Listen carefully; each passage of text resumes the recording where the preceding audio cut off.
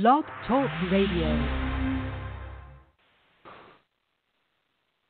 Michiamo apura kanu apura kaitnut neye akanpo nana som da metinde ujirapo kwesi rane mpata akan akwamumai maruka itipi mu ojirapo ojiramai mu Greetings to all apurai kani apurai kaiti people, meaning Africans, black people. Today is Akanfo Nana Som Day, ancient, authentic Akan ancestral religion day. My name is Odwirafo Kwesi Ranem Pata Akan. Odwirafo, the Akwamu nation in North America within Ojirama, the purified nation, Apurakani, Afurakaitni people in the Western Hemisphere. Yet I say we thank you once again for tuning into the broadcast. We've opened up the chat room. If you have any questions or comments in the chat room, you must log in as a user in order to interact. If you have any questions or comments on the phone line, simply hit the number one so that we can see that your hand is raised. For those who are new to the broadcast, we have four broadcasts on a weekly basis. We have Akanfo Nana Som, ancient, authentic Akan ancestral religion, on Joda on Monday nights, where we deal specifically with the Akan expression of ancestral religion of Nana Som, first and foremost because we are Akan, secondly because of the misinformation being propagated regarding Akan ancestral religion, culture, cosmology, ritual practice, and so forth, coming from individuals not only in the Western Hemisphere, but also individuals on the continent of Afuraka, Afurakai who've been infected with white pseudo religion, such as Christianity and Islam and so forth, and white culture in general, and therefore their presentation of Akan ancestral religion has been infected with these fake traditions. So we deal with our ancient, authentic Akan ancestral religion, which takes us back to our ancestral origins in the region of ancient Kanat, the Khan land, the first land, foremost land, a title of ancient Nubia, where our people originated. Some of our people went north and settled Kemet, so called Egypt. Some remained in Kanat. Some of our people migrated further north into the so called Near East, established Kanana and Kangi, which later became corrupted into Canaan and Sumer and so forth. But our people some of our people migrated to these different regions. Some of our people migrated west after the fall of Kemet and northern Kanat, reestablished ourselves in the western part of the continent, reestablished the Kanat Empire, the Nubian Empire, the Empire of Ghana a couple of thousand years ago. After about a thousand years, because of Muslim invasion, some of our people migrated from that region further south, reestablished themselves near the forest belt and savannah regions, reestablished Akana civilization in that region. Hundreds of years later, some of our people were forced from those regions into North, North Central South America, the Caribbean, and Europe during the Musuo Kessie, the Great Perversity, the enslavement era. And this is how we ended up in North Central South America and so forth. We maintained our Akan ancestral religion through that forced migration. That's the Akan ancestral religion. In South America, in Suriname, for example, it's called Winti, from the Akan term, Quinti. It is called Obia in Jamaica, from the Akan term, Obai. It is called Hoodoo in North America, from the Akan term, Undu, which means medicine from roots, trees, plant life. This is where we get root work from and so forth. It also means to become heavy with the spirit through spirit possession, through spirit communication. We also utilize the term kanche in the Akan language, which also goes back to ancient Khanit and Kemet, meaning to utter incantations to bring the spirits forth the Abosom and Nananom and Samafo, the deities and ancestral spirits. That term kanche became corrupted into kanje and kanje in North America, and later the whites and their offspring assumed we were saying conjure. So when we use the terms hoodoo and conjure, we're talking about undu and kanche, terms that we use to describe our ritual practices in the Akan language, as well as the language of ancient Khanit and Kemet for thousands of years. So we've maintained our ancestral religious traditions. On Benada, Abinada Tuesday nights, we have Odwira, meaning purification. On that broadcast, we deal with ancestral religion in general, not just the Akan expression, but ancestral religion in general, no matter what form it takes, wherever we exist in the world, whether we're on the continent of Afrakai, or outside, we discuss and examine how our ancestral religious practices impact every aspect of our lives. Ancestral religion, or Nana Som as we call it, Afurakani, Afuraikani, or African ancestral religion, in essence is the ritual incorporation of divine law and the ritual restoration of divine balance. Ritual, we incorporate those things, objects, deeds, and entities we need to incorporate in order to harmonize our thoughts, intentions, and actions with divine order. And through ritual, we reject those things, objects, deeds, and entities we need to reject in order to restore balance to our thoughts, intentions, and actions and thus align ourselves with divine order. So the expansive and contractive poles of ancestral religion is the ritual incorporation of divine law and the ritual restoration of divine balance. We state that Odwira purification operationalizes Nanasom. Purification operationalizes our practice of ritually incorporating law and ritually restoring balance. Our culture is Afurakani people, African black people, is the divine acceptance, the divine law or love of order, and the divine rejection, the divine hatred of disorder and its purveyors. We accept that which is orderly, we reject that which creates disorder. We seek to align every thought, every intention, and every action, every moment of every day with divine order. We make mistakes, legitimate mistakes. We engage the ritual process to incorporate divine law and restore divine balance to our thoughts, intentions, and actions so that we can get back on track with executing our divine function in creation while aligning every thought, intention, and action every moment of every day with divine order. This is our culture as Afurakani Afurakani people. This is our ancestral religion impacts every aspect of our lives. So the Odwira broadcast, we deal with purification, purification of concepts, cosmology, ritual practice, understanding the nature and function of the deities and ancestral spirits and so forth of our direct blood circles, understanding how we maintain our ancestral religious traditions in our blood circles, even into the forced migration. So it is an intergenerational, transcarnational inheritance. We are born with the Abosom Orisha Vodou in our blood circles. They are assigned to us pre incarnation by Nyamewa Nyame, the Great Mother, and Great Father, Supreme Being no one outside of our direct ancestral blood circle can give us our ancestral religion. That is something we are born with and we carry with wherever we exist in the world. We maintained our ancestral religious traditions, and because we were empowered and guided by our direct blood ancestresses and ancestors, as well as those divinities who are connected to us by blood that we incarnated with, we waged war against the whites in our spring, forced the end of enslavement in the Western Hemisphere through taking up metal armaments as well as waging chemical and biological warfare against the whites and their offspring, hoodoo, root work, conjure, and so forth, juju, wanga, being the precedent that was established for chemical and biological warfare. The precedent that we established back then is a foundation we have to build upon today. So, this is what we deal with on the Odwira broadcast. On Awukuda Koda Wednesday nights, we have Egua Marketplace Day. We showcase Afurakani Afurakani businesses, organizations, and institutions who are serving the Afurakani Afurakani community in a positive capacity, those who maintain their ancestral religious values in the context of their service to the community. So we've showcased a number of businesses, organizations, and institutions. We've also published our OCOM economic development model, which is an approach to economic development rooted in our ancestral religious values. Thus, it is an um, holistic approach to economic development for Afurakani and Afurakani people, and we deal with the philosophical foundation, a holistic approach to economic development rooted in our ancestral religious values on that broadcast.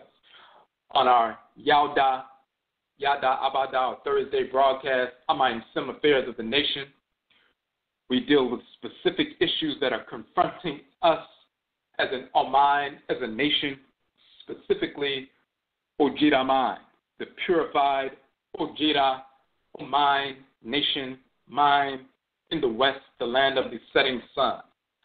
Ojiramai means the purified nation of Afurakani, Afurakani people in the Western Hemisphere. Because we have migrated or were forced to migrate, but after that process, we were directed and guided by our ancestresses and ancestors to coalesce in a specific region of the Earth Mother's body in the West, interface with the Earth Mother divinities in this specific region of their body in the West, taking in plant life, animal life, mineral life for food as well as medicine from this specific region of the Western Hemisphere of the Earth Mother's body, dealing with the unique expression of the Abosom, the Orisha, the Vodou, the manifestation of the forces in nature from this region of the Earth Mother's body, and of course, blending ancestral blood circles and bringing ancestresses and ancestors back through these unions and so forth.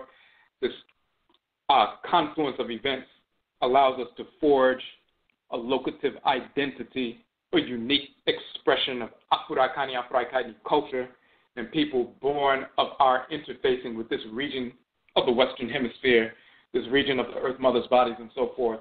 Therefore, we have a unique approach to ancestral religious practice, a unique approach to solving our problems rooted in our experience. This is what we deal with when we talk about amaniye or nationism, the purification of nationalism.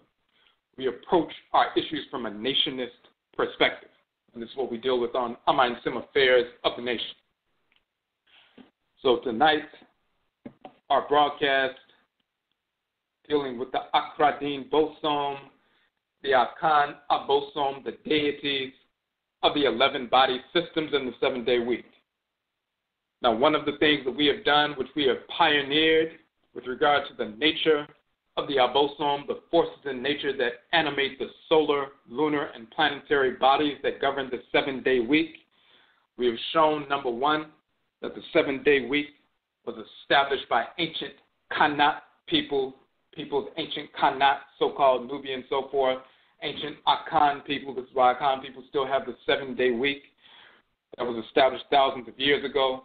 We took that seven day week up into the so called Near East, into Kanana, which is later called Canaan, now it's Palestine, Israel, and so forth, prior to these fictional cartoon character uh, prophets and so forth who never existed from the Bible, no matter color, whether it's white, black, or otherwise, it did not exist. We took this seven day week into Kangi, which is a title of ancient Sumer and so forth. The deities that animate the solar, lunar, and planetary bodies which govern the seven day week are the exact same deities that you find in ancient Sumer, are the same names and descriptive titles with the same functions that we have in the Akan tradition today. We've proven that, and we're the first to prove that in our book series, Akradin Bosom, Volume 1 and Volume 2. And Volume 3 is coming out, and Volume 4 is com- coming out very soon. Another thing that we have pioneered is to show exactly who these deities are, show them in ancient Kemet with the exact same names, same titles, same ritual functions in creation, same ritual colors, and so forth, proving the identity of these forces in nature also showing that there are 11 abosom that govern the seven day week. We show that connection. Of course, we pioneered that when we first released a series of 11 articles on each one of these 11 divinities. And now we're talking about their regulatory functions within the 11 body systems. Of course, these are deities that regulate all natural cycles in creation. We've shown that their connection and identity in the various traditions. These exact same divinities exist in the Yoruba tradition, the Igbo tradition, um, Ewe and Fon tradition, and so forth. Every Afurakani Afurakani group of people deal with these forces in nature because these are major divinities that regulate all natural cycles in creation. And we want to focus today on their regulatory function with regard to the 11 body systems which of course this is also a work that we are the first to publish this information. This information is born out of our direct experience. Of course, it can be proven not only in the Akan language, also c- compared to the Igbo language and Yoruba language and Ewe and Fon languages, also shown in ancient Khanit and Kemet, and we show them due to the hieroglyphs and the articles and so forth to prove the names of these deities, their identity and so forth but we're able to draw this information out because we still practice the culture. So when you have individuals on the continent of Africa, Africa, a certain group of individuals have been corrupted by Christianity, Islam, white culture in general, inclusive of those who have been matriculating through university programs and so forth. They don't know who these the first seven divinities are. In reality, they don't know that there are actually 11. They can't identify them. They don't work with them on a regular basis ritually, so they really don't know who they are. And therefore, they don't understand that they are central to all aspects of our Akan ancestral culture.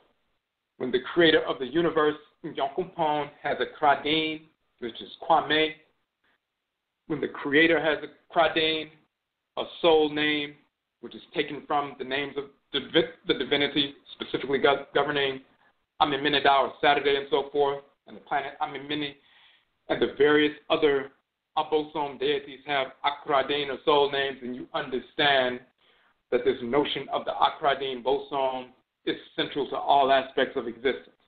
It is because when we left the continent of Afrika, Afrika, when we were forced away through the Musuo the great perversity, the enslavement era, over 300 years ago, our ancestresses and ancestors who were snatched up and thrown on boats and so forth, the manner in which they were practicing Akan ancestral religion then was time stamped into their bones and blood. It was fossilized in their bones and blood. So the manner in which we were practicing an Akan ancestral religion over 300 years ago, that is the specific expression of the culture, the pristine, uncut, uncorrupted expression of the culture that we pass down intergenerationally here in the Western Hemisphere. What happened with Akan people since we left 300 years ago, the introduction of Christianity and more incursions of Islam and white culture, and including white socioeconomic theories and so forth, those corruptions that took place since we left, we had nothing to do with that. How they changed the practice of ancestral religion and the perception of ancestral religion and the understanding of the cosmology and so forth, we had nothing to do with that because we were already gone. So we're still practicing and passing down the same pristine culture we were practicing when we left. We were possessing and communicating with the Akradin Bosom when we left. And this is why in the Hoodoo tradition we still deal with the Akradin Bosom. In Jamaica, in the Obeah tradition, they still deal with the Akradin Bosom. In Suriname, in South America, they still deal with the Akradin Bosom. You'll find many individuals on the continent. Some will believe that there are no deities who govern the seven days of the week. They think they're just named after the days. And you have some who acknowledge, well, there are tutelary spirits that govern the seven days, but they are not sure who they are. But we have proven irrefutably exactly who they are. You have some other individuals who have manufactured stories, which are contemporary stories, about the origin of the seven day week because they don't know who these abosom are. And they've manufactured contemporary stories, for example, like the abosom Pano having seven sons and they're named after the seven days of the week, and this is where you get the seven days. That is totally inaccurate. So we've proven conclusively, irrefutably, who these deities actually are. And that comes from direct practice. It comes from direct communication with these divinities who govern Accra. Accra are our heads. So we're going to get, it, to the Akradin Bosom page. We'll put the link in the chat room. You'll see the chart as well. This is a chart we just published, put forward. So first we'll put the link to the Akradin Bosom page on our website. Then we're going to place the link. And if you go on our Facebook page, you'll see this this uh, chart that we just published the other day, just yesterday, as a matter of fact. And of course, this information is in the book series. Volumes one and two are out. Volume three is coming up very soon, as well as volume four. So all of these, everything we talk about tonight will be included. It's either already included or the coming volumes, it will be included. So first, we're going to go quickly about dealing with who the Akradin Bosom are, and then we're going to show their connections with regard to regulatory functions of the 11 body system. We've talked about them with regard to their functions in nature, but we want to focus tonight specifically Since we're talking about how ancestral religion impacts every aspect of our lives, how they specifically regulate the 11 major body systems of Afurakani Afrakani people only, of course.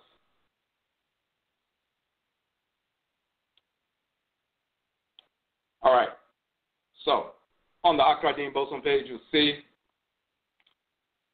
we show these solar, lunar, and planetary bodies. We state that the Akradin bosom in our Khan culture are the abosom, the divinities, deities, spirit forces in creation, who govern the solar, lunar, and planetary bodies that govern the seven day Akan week or Nawotwe. It is from the Akradin bosom or Akradin abosom that Akan people derive our Akradin or soul's names, which are also called Dadin or day names. And just to note, we did a twice when we were doing Ustream broadcasts. We did an 11 part series on the Akradin Bosom and dedicated one broadcast to each one of these 11 deities. And then a couple of years ago, when we started doing Blog Talk, we did an additional 11 part series based on our articles of each one of these 11 deities. And we went into detail, in further detail, on each one of these divinities. But as we're saying tonight, the specific um, focus tonight is on the 11 body systems. So just so you know, if you want details about the articles that we wrote, you'll see we're going, we're going to go through some portions of these 11 articles that we've written on each one of the divinities, including the information books. But we also have those two sets of 11, two 11 part series sets, one from the Ustream broadcast, one from the Blog Talk Radio broadcast archives, and they're all on this page. You'll see all 24 on this page. You can access those whenever you like. So, the Abosom, singular, Obosom, of the deities, the goddesses and gods, the divine spirit forces in creation. They are referred to as Inyamewa, Inyame Ma, the children Ma of Inyamewa, and Inyame, the great mother and great father, the great goddess, the great god, are called Amen, Amenet, and Amen in ancient Khanit and Kemet. Of course, they are Mawu and Lisa and Vodun and Olokun and Olorun in the Yoruba tradition and so forth. Komosu and Chuku and Ibu, Ibo and so forth. And they're Katieleo and Kolotielo in the Senufo tradition. Everybody understands that there's a great mother and great father who function together as a divine unit, two halves of the divine whole, which we call the supreme being. And we show an image of Amenet and Amen sitting together from the temple of Apet, Rasit, in ancient Kemet. Amenet and Amen have always been two halves of a whole. There was never a time when there was just Amenet without Amen. There was never a time when there was just Amen without Amenet.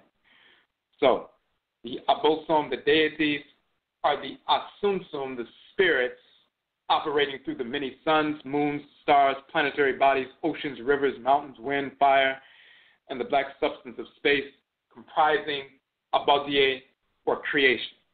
They are the divine, quote unquote, organs regulating order within the great divine body of Nyamewa, Nyame, the great mother and great father, just as your organs, smaller bodies, regulate order within the greater body, you.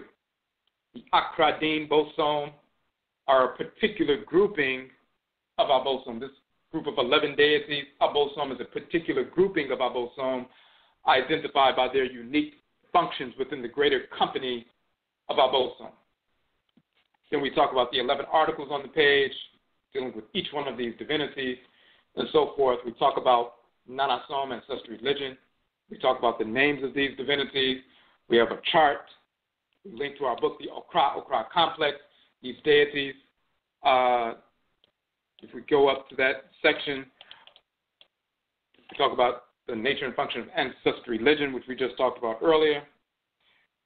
Khan people, the Yakradin or soul names, Kwesi, Akoswe, also Esi, Kwajo, Ajua, Kwabena, Abena, Kweku, Akua, Yao, Ya, Abba, Kofi, Afua, Kwame, Ama, and their many variations are directly related to our Nkra, Nkrabi, our divine function in creation, for they are given to our soul, our Akra, by the Akradin bosom. Our names, Akradin, are derived directly from the Akradin bosom, the divinity that governs our Kra. The Okra or Okra, the male or female divinity, is a divine soul, divine consciousness, the soul. It is a drop from the ocean of divine consciousness, which is the Okra, Okra, the Ka, the Kaet, the soul, the divine consciousness or intelligence of Nyamewa Nyame. The Okra, or the Okra female, Okra male, is an abosom, a deity which is assigned to the Afurakani Afurakani individual by Nyamewa Nyame and dwells within the head region. The ability of Akan people to embrace and execute our Nkra Nkrabia, our divine function in the world, is rooted in each individual aligning his, or her sum sum, his spirit, with his or her Okra or Okra soul, and invoking and harmonizing with his or her Kradin bosom the Okra, Okra as our own personal boson operates under the energy of the Kradin bosom. Our Okra, Okra therefore guides our thoughts, intentions, and actions towards harmony with Inyamewa Inyame based on our unique function in creation. So just like you have a physical body and your brain is a smaller body regulating order within your physical body, it's in the head region. You have a spirit body, which in Akan is called Sum Sum, the spirit body. In the head region of the spirit body is an entity, a deity, that the Supreme Being directs to go dwell in your head region to guide you throughout the course of your life. This male deity, if you're a male, is seated in your head region in the form of a spirit's brain, a force in the head region. The female deity, if you're a female, is seated in your head region, in your spirit body. Is that force that pulls you in your head region towards thoughts, intentions, and actions that are in harmony with divine order and pushes you away from thoughts, intentions, and actions that are disharmonious. Because written into that divine force, that female divinity or male divinity, is a specific function you are to execute in creation. Just like every cell in the body has a specific function to execute in the body, we are cells within the great divine body of the Supreme Being. We are children of organs, and those organs are children of the great body. The organs are the deities. The cells are us, plant life, animal life, mineral life, and afurakani, afurakani, human life only. We have a specific function as a certain kind of cell, as a child of a certain kind of organ or deity that regulates order within the body. When we execute our divine function in creation, we're serving the whole body at the same time. We're cells serving the whole body at the same time. The deity that governs your head is seated in the head region. The divine function is wired into or written into that force. That's why I can pull you in certain directions. And When you're engaged in, in activity that is out of harmony with your function that's written into your kra, your krawa, then your krawa will, okra will direct you away from those kinds of behaviors, thoughts, intentions, and so forth. That's a divinity a force of nature. It's called Ori in the Yoruba tradition, say Lido and Vodun. It's called Ka, male, Kaet, female in ancient Kemet. It's called Chi in Igbo. Our Kra is governed by the Kradin bosom, one of the 11 divinities that govern the solar, lunar, and planetary bodies that regulate all um, natural cycles in creation.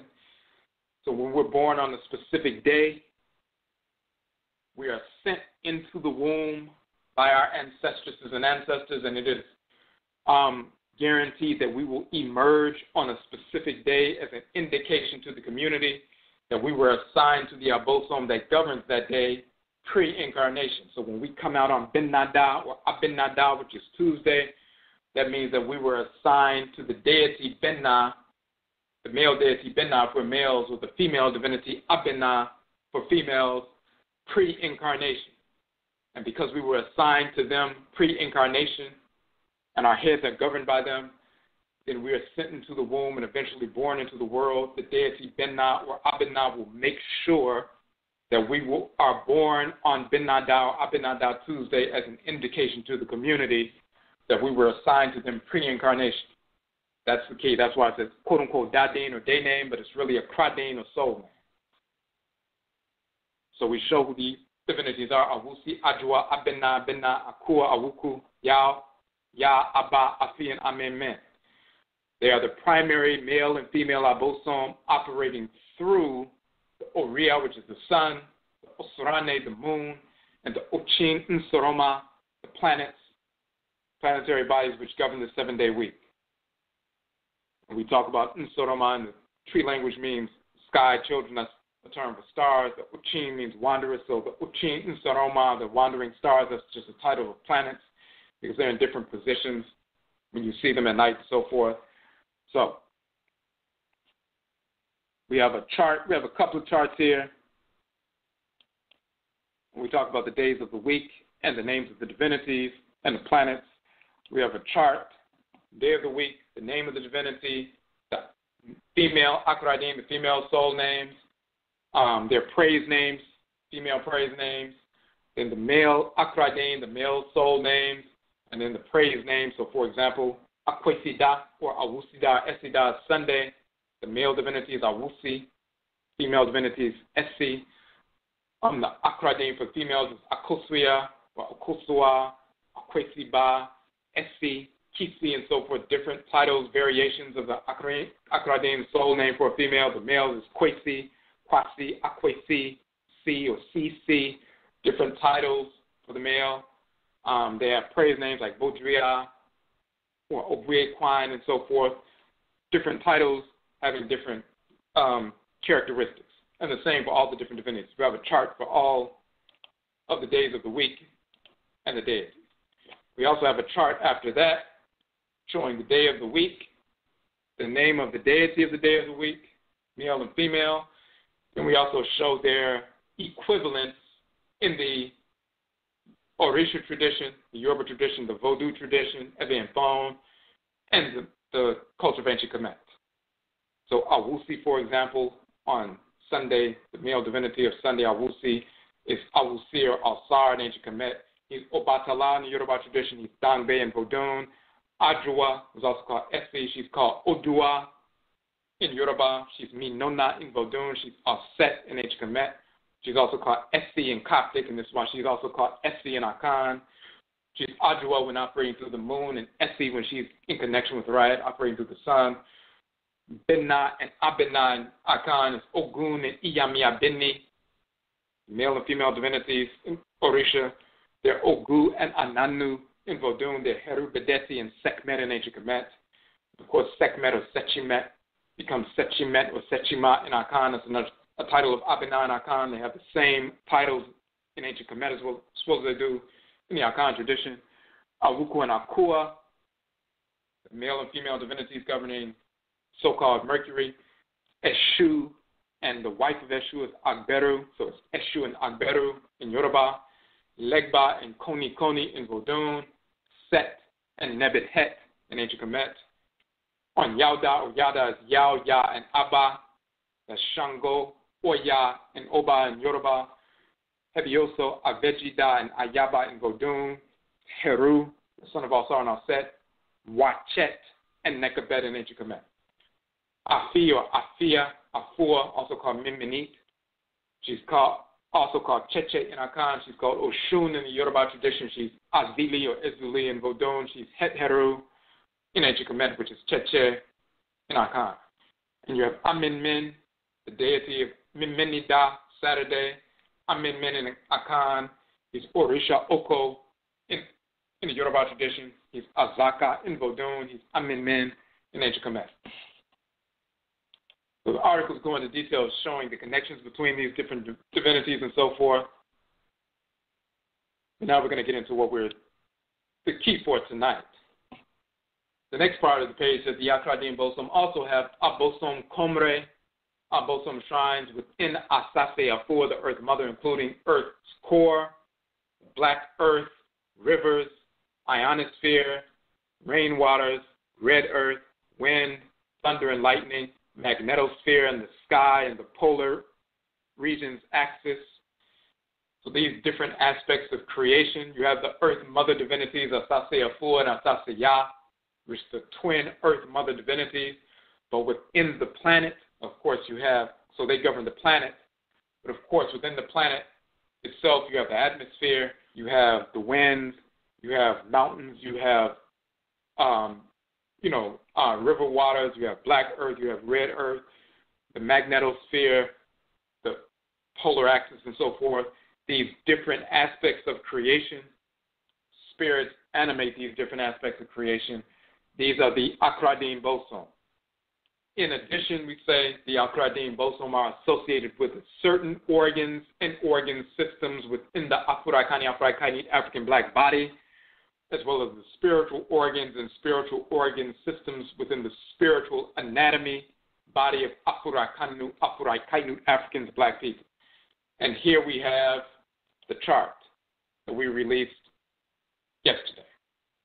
And just to give further context, as a grouping of Abosom du Biako, or 11 deities, that's a sacred number grouping found in ancient Akan culture, ancient Khanit and Kemet, as well as contemporary Akan culture. The Mer text or pyramid text address the Posjet At and the Posjet Inchaset, the so called Great Ennead or grouping of deities, and the smaller or lesser Ennead or grouping of deities.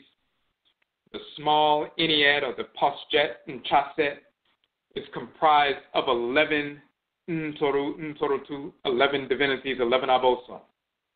In the Mer text or pyramid text of Unas, utterance 219, lines 178, as well as lines 181 through 192, you'll see an address to these 11 abosom, this grouping of 11 abosom in the pyramid texts.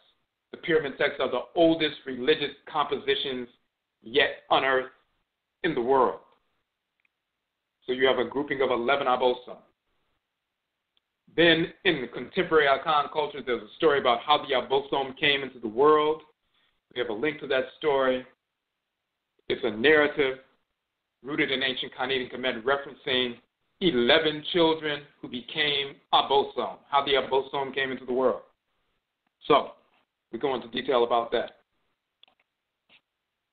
And we also say this Posjet Ntoru, Ntoru, the so called Paut Ntoru, is absolutely unrelated to the pseudoscience pseudo spiritualism of Kabbalism and its quote unquote tree of life, which is a recently manufactured white pseudo cosmographic perversion with no authentic foundation in ancient Kemet or any Afurakani Afurakani ancestral religion or culture. Of course, they looked at the Paut Ntoru Ntorutu and tried to manufacture a version of the grouping of divinities which their version is off, misinformed. They put archangels and Sephiroth and all of this other nonsense together. We're dealing with actual deities which they don't really have a concept of that we communicate directly with. Even their associations are misguided and so forth. Moreover, there are more than just one grouping of divinities. There are numerous sacred groupings, number groupings of Abosom, including the nine Abosom of the Posjet, At, or the so-called Great Ennead, the eight Abosom of Kemenu, which is misnomer to Ogdoad, the seven Heru Abosom, the four Abosom who are the sons of Heru, the 42 Abosom who are the assessors of Ma'an, Ma'at, and more. Each grouping of Abosom has its own significance and function, just as each organ system in the body has its own significance and function.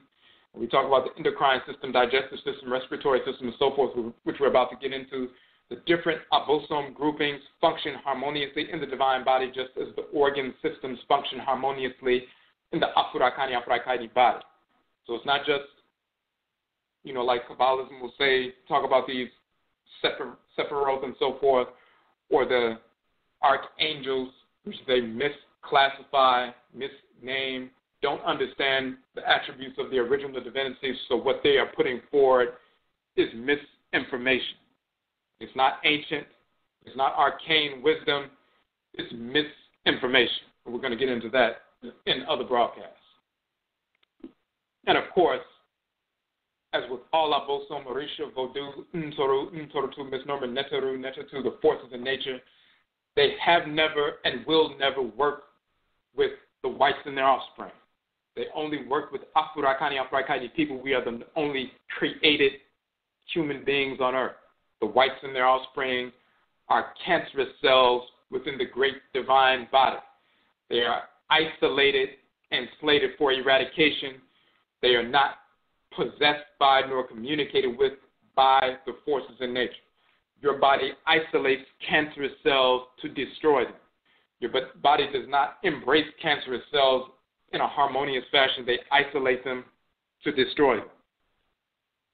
That means white Europeans, white Americans, white Asians, white Hispanics, white pseudo Native Americans who are just invading Asians, white Arabs, white Hindus, white Latinos, and so forth. None of the whites in their offspring have ever communicated with the Aboso Marisha Vodu, Nsoru, Nsorutu, and never will. That is an irrefutable reality.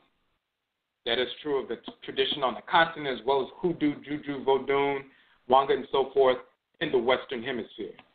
Anyone who claims otherwise is a fraud. Now,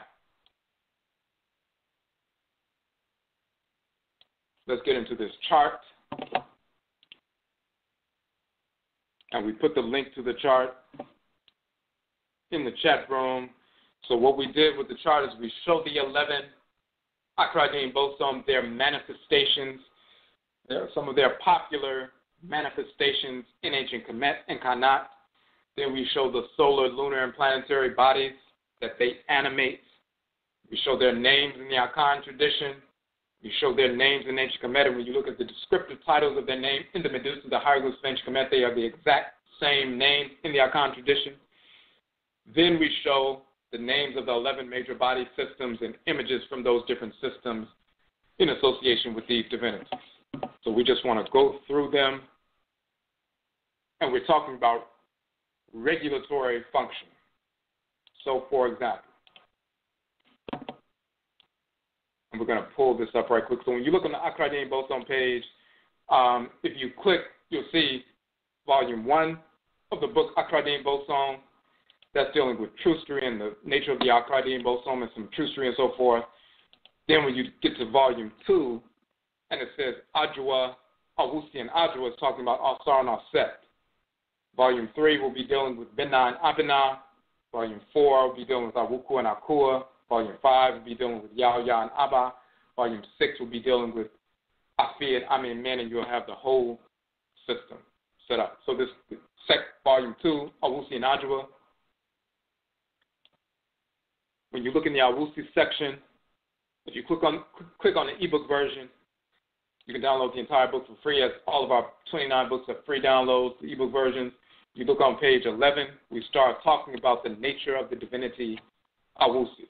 And we say in our Khan culture, a major abosom operating through the Oriya, the sun, is called Awusi. The abosom Awusi is called Awisi, Ayisi, Asi, Sisi, and Akwesi. Awusi is the male Okradin Bosom of Akwesida or Awusida, so called Sunday. Awusi, in H. Kemet, is called Awusi or Asar. It's called Obatala in the Yoruba tradition, Dangbe and Vodun. Agwu Isi in Igbo is where we get Akwesi or Akwesi. In Akan, it's the same as Agwu Isi in Igbo. Awusi establishes regulatory order in creation. He is the Obosom who operates as the divine endocrine system the regulatory structure within Obadiah or creation within the divine body of Nyame wa Nyame. He thus operates as the endocrine system within the Afurakani Afraikani black body. So that's the key. We're talking about regulatory functioning. If you look at the 11 major systems, the endocrine system, of course, is a major system. So if you look up some information on the endocrine system, the, the master gland of the endocrine system is the pituitary gland. If you look at some basic information, which of course you can get from any um, published information on human anatomy and so forth, the endocrine system is the collection of glands of an organism that secrete hormones directly into the circulatory system to be carried towards distant target organs. In humans, the major endocrine glands include the pineal gland, pituitary gland, pancreas, ovaries, testes, thyroid gland, parathyroid gland, and adrenal glands. Now, The special features of endocrine glands are, in general, their ductless nature. That diffuse neuroendocrine system, that, that the system of ductless glands, whereas the exocrine system that we're going to get into, um, the glands have ducts. But the endocrine glands, they secrete hormones directly into the circulatory system. So they have a ductless nature. Their vascularity is, is key and commonly the presence of intracellular vacuoles or granules that store their hormones. In contrast, as we said, the exocrine glands, such as salivary glands, sweat glands, and glands within the gastrointestinal tract, tend to be much less, much less vascular and have ducts or hollow lumen. Now, if you look in the section where we're talking about Awusi, we talk about his, the root of his name, Si. And we talk about the endocrine system on page 12 in our book. Endocrine system helps control growth and development, homeostasis, internal balance of body systems, metabolism, reproduction, and response to stimuli, stress and or injury. The pituitary gland is the master gland of the endocrine system and thus regulates its functioning in the same fashion. Asi or Awusi establishes regulatory order in creation among the planets, stars, suns, moons, oceans, winds, plant life, animal life, mineral life, Afurakani, Afurakani, human life, your organs and systems, spiritual potencies, forces, and so on. When that regulatory order is established within the Afurakani, Afurakani population, the communal quote unquote body, it manifests as the establishment of civilization. Those Afurakanu, Afurakainu who are born of and guided by the energy and consciousness of Awusi or Asi are therefore those who manifest the capacity to establish civilization, a social order rooted in the divine order of creation. Of course, when you look at the function of Asar, establishing civilization and so forth, he's placed at the head of the divinities, him as well as Aset, the male and female head of the divinities, not because they're the oldest divinities, but because of their regulatory function. The pituitary gland has a, is a master gland within the body. It has two lobes, the posterior lobe and the anterior lobe, governed by Alsar and Aset but the overall functioning is the Alsarian gland, and then we'll show the reproductive system connected to Alset and so forth. But that, but they have um, exchanges between the two systems. And Alset operate through the endocrine system and the master gland, the two lobes of the pituitary, but then you also have and Alset both operating within the reproductive system of the males and females as well. But predominantly Alsar is governing the endocrine system, predominantly Aset is governing the reproductive system, which we're going to get to next. So you have the pituitary gland unceasing in its in executing its regulatory functions, its overseeing functions. Of course, when you look at the uh, Adinkra symbol of the Abodie Santen, all of creation, you see the Guan, you see the the eye, the all-seeing eye, and so forth. When you look at the name of Asar is spelled with the throne and also the eye and so forth. So we go into detail about that as far as the symbolism goes.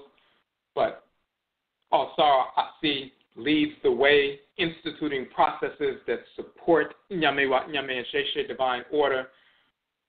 He is the one to whom is given the Bodria, the animal's tail or with the protective symbol, the symbol of the leader. Those who are born under his influence and are directed by him, therefore, have the capacity to order, institute, the term is and CC, the root of Asir Asir, civilization, lead, and give proper guidance. They are protectors for the institutionalization of civilization by such individuals is for the perpetuation of Inyamewa, Inyame, and Sheshi, or divine order amongst the people. Said perpetuation is the foundational protection against very potential manifestations of disorder. Civilization being institutionalized is the foundational protection against potential manifestations of disorder. So when the, a leader, I see, I will see, and the root of the name is Si, which is the throne. I see the throne, which is called I see in Akan. It's also called I see in ancient Kemet, that throne which makes up the hieroglyph of his name, and then the I after that. The root Si, meaning the throne and so forth, that is the foundation upon which the civilization is established, the queen's throne and the king's throne and so forth. And of course, CC in Akan is the lower part of the back, dealing with the lower part of the back where the ilium is joined to the lumbar vertebrae, you know, the pelvis region, which is the seat, and you see the the uh, sacrum fused in the pelvis region, and that's the same symbol for all star and ancient Kemet. So we go into detail about that. That's the foundation that's thrown, the establishment, the institutionalization of regulatory order and so forth, the seat of government, and all of that. We go into detail about that. But the endocrine system, headed up by the pituitary gland with, with its dual lobes, secretes hormones into the bloodstream, and they give directives that regulate the functions of other glands. Those hormones go all throughout, and sometimes they trigger other glands to release hormones that go all throughout the system and touch almost every um, gland and organ and tissue and so forth, regulating order within the body. All-Stars a divinity that um, instigates regulatory order within creation. So that endocrine system is governed by All-Star or Awusi. So when you read the information dealing with Awusi, you'll see in the book, you'll see all of the various details, the symbolism. We show his different titles, Awusi, Awisi, Asi, Aisi, all these different titles and what they mean in the Akan tradition, and then we show their correlations in the language of ancient Kemet with the Medutu and so forth and symbolism. So that's that regulatory order that you find in the endocrine system. Now, next, you'll see we get to Ajua, which is our set. When our star and our set operate through the moon, they're called Ajo and Ajua in Akan. They're called Ucho and Uchua in ancient Kemet, which is dealing with the moon. In the Coptic dialect, the late Kemet dialect, the term Yau, meaning moon, becomes Yo, I O H, Yo, meaning moon. And this is why in our Khan culture, the term for moon day or Monday is Jo, Da, or Jo, day, the day of Jo. The cool one talking about the moon, that comes from Yo. In the Coptic dialect, talking about the moon. And there's also the moon is seen as the left eye of Ra and the left eye of Heru and so forth. So it's called Ucho and Uchua. And this is where you get Ajo and Ajua in Akan dealing with the moon. So when Osar and Alset operate through the moon, they're operating through the Ajo and Achua, that left eye, and they're called Ajo and Ajua. But when they are operating in harmony with Ra and Ra'et, they operate through the sun, and they're called Asi and Esi, or Awusi and Esi, Osar and Aset, Asar and Esi. Esi is the title of Aset in Coptic, in the late Kemet dialect as well, just as it is in Akan. So that's the connection. So we can call her Ajua when she's operating through the moon, but she's also Esi when she's operating in harmony with Ra'et, animating the sun.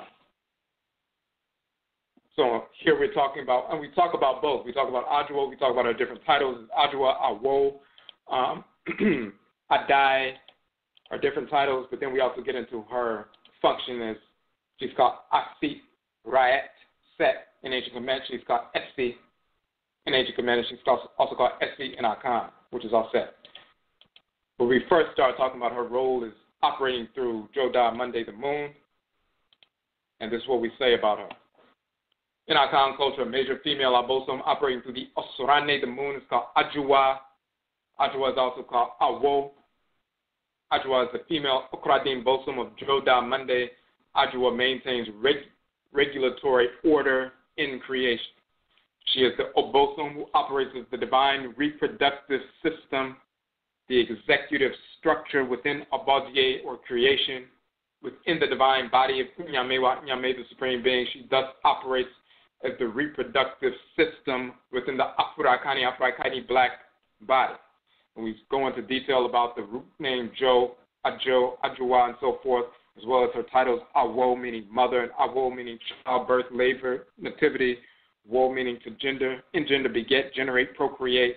It also means cool, and so forth. It also means um, Ajua means throne, and so forth. So we go into a great deal of detail with that. The Abosom Ajwa is a spirit force has, who has a regulatory function in creation. She regulates the functions and operations of other abosom. The Oriya sun sends its energy to Asase earth, heating the planet while activating its atmosphere. The Osorane, the moon, which is also called the bosom, um, receives and retains the energy of the Oriya, the sun. The resultant energy of this process, including moonlight, in concert with the gravitational force of the Osorane, the moon, affects the increase in water levels, tides, and cools earth, Asase. Joda, the day of Ajua, is the day of the Osorane, the moon, moon day or Monday.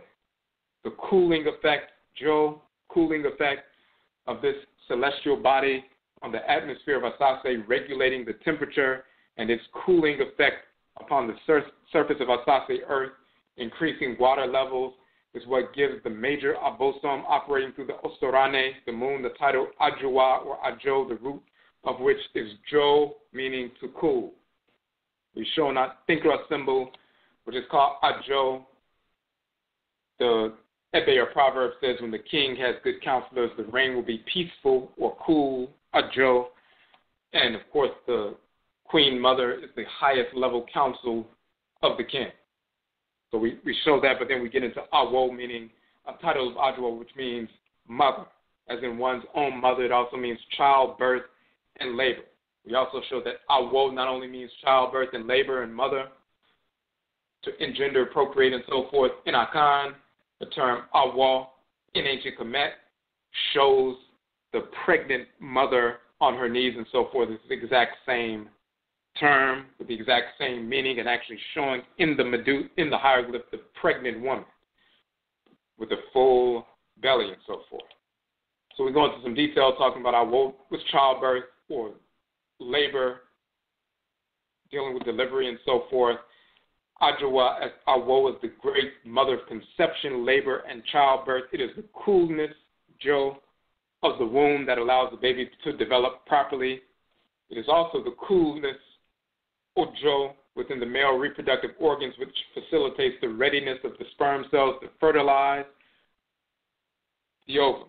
Without the requisite coolness, Jo, there is no fertilization and no embryogenesis. Excessive heat in the womb area disrupts the development of the fetus.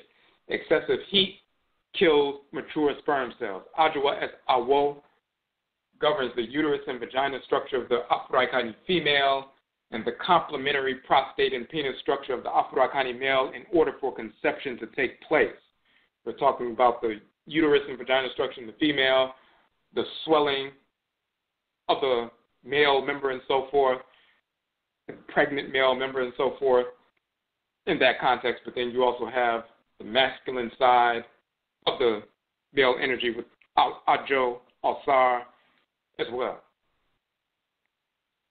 So we show the male and female reproductive organs, the uterus and the vagina structure, the prostate, and the phallus, which is connected. Of course, the ovaries and the testes are connected. The fallopian tubes and the epididymis of the male are, are reflective of one another. The uterus and vagina structure have reflexive areas which are connected to the various major organs and glands of the body. These reflexive areas of these structures, when stimulated through the process of procreativity, regulate the functions and operations of the various organs and glands of the body. This is similar to the reflexology points on the foot or hand. Just as the uterus, vagina, as well as the prostate phallus complexes are connected to and regulate the various organs and structures in your body through reflection, so is Awo, which is Adwa, as a divine organ structure connected to and regulates the functions and operations of the various divine organs abosom which exist in as the divine body of Nyamewa Nyame, Supreme Being. Ajawa as Awo, the Great Mother, functions as the divine birth house, birth canal in creation. The divine womb and birth canal within the divine body of Nyamewa, the Great Mother.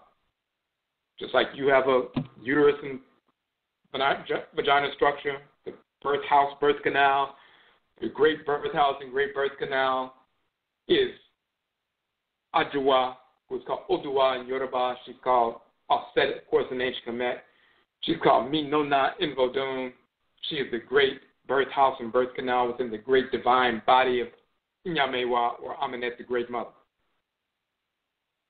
Just like the womb structure has reflexive points connected to all of the organs and glands in the body, in the great divine body, it's the same is true within the upright Kaini female body.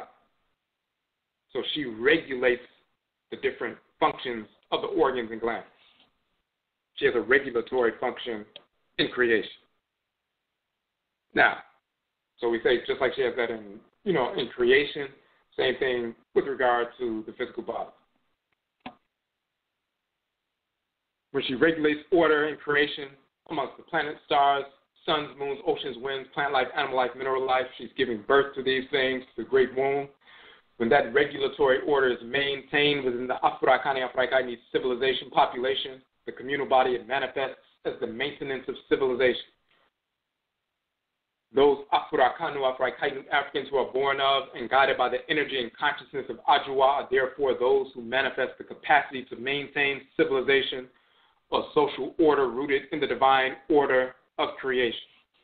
Then we talk about the connection between the pituitary gland through hormonal secretion, stimulating the reproductive organs of the female and male.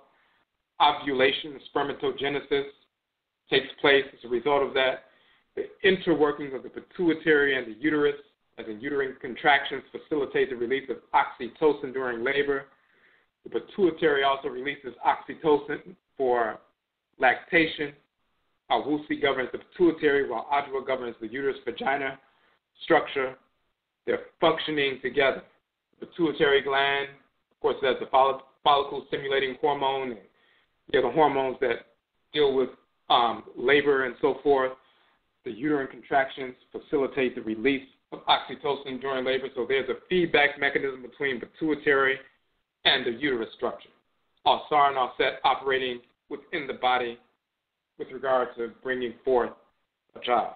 And of course, when they're operating within the organs themselves, the prostate and the phallus of the male and the uterus and the vagina of the female, that birthing structure, Alsar and Alset as Ajo and Ajua working together there as well. So they, they work together in the reproductive system.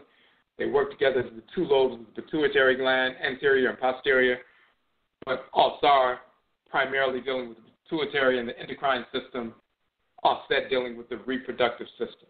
We're talking about the birthing system, birthing and gestation and so forth. We're going to get to Het Heru, who's connected to the fallopian tubes, and the house of Heru, which is the fallopian tubes and so forth. But we're talking about the overall uterus structure, birth, birthing house, birth canal, and so forth.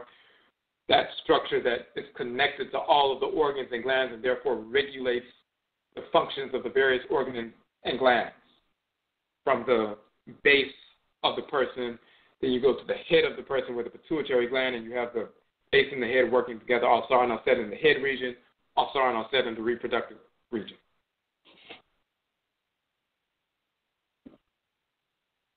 Okay, so next, look at the chart. You see that we're going to get into Benna and Abena. When we go to the Akradin Bosom page, we have articles on each one of them. We're going to click real quick. You can click on the Benna article. We're not going to go through the whole piece. We just want to show.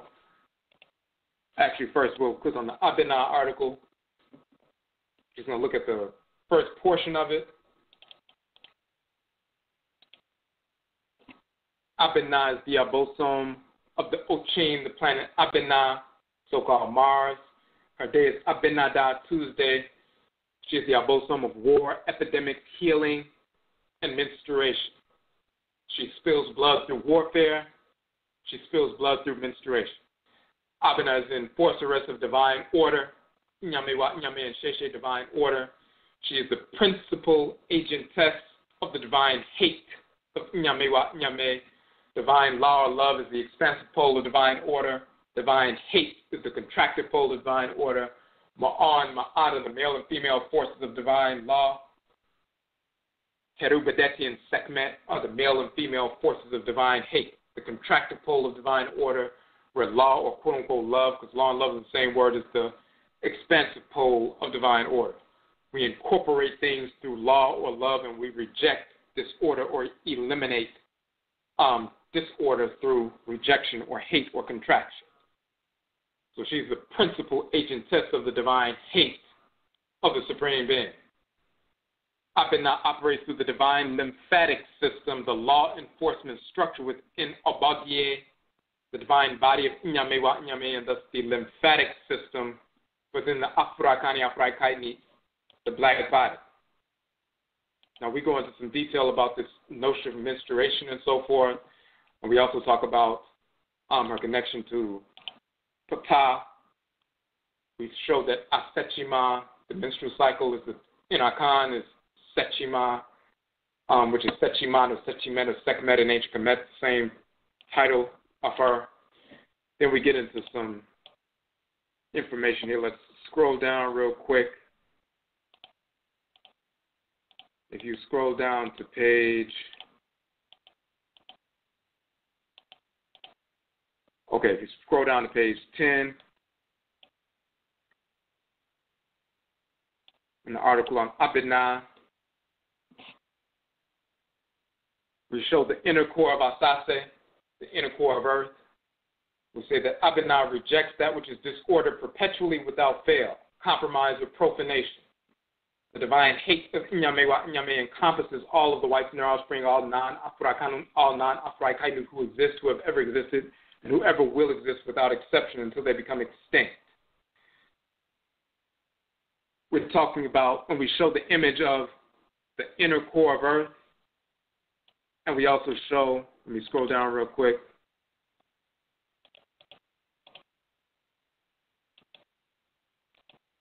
Okay, we show the Akana principle Anibere because we show lymphocytes, which are natural killer. Some of them are natural killer cells, lymphocytes generated in the bone marrow and operant within the lymphatic fluid.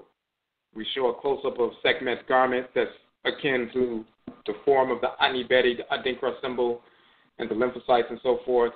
We show the inner bone, the red and yellow bone marrow and so forth. That's the blood, the bojas is called in Akan. Sekhmet operating through the inner core of the planet and on the planet Earth. In the inner core, you'll find her, along with Ptah and so forth. In the inner bone, which is a the bone marrow, which is a major lymphoid lymphoid organ and so forth. Lymphocytes being generated and so forth from that bone marrow, that red and yellow bone marrow and so forth. She's found within inside the bone, just like she's inside the inner core of Earth. The fire that she generates that fire that's generated in the marrow of the bones and so forth, generating that lymphatic response, isolating and destroying cancerous cells and viral agents and so forth to eradicate them for the preservation of the integrity of the body. You have Apina on the female side and Benna, which is Heru Behudet or Heru Bedat, Heru Bendat. In H. Kemet, he's called Benna and Akan on the male side but she's waging war as the lymphatic system in the great divine body of the Supreme Being.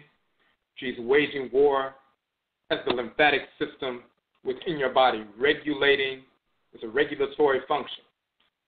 It's one thing to have a number of different systems working harmoniously in the body, but if you didn't have an immune or lymphatic system, it doesn't matter how wonderfully all of the other systems are structured, everything will fall apart as soon as some bacterial agents or viral agents enter into the system because you would have no protection.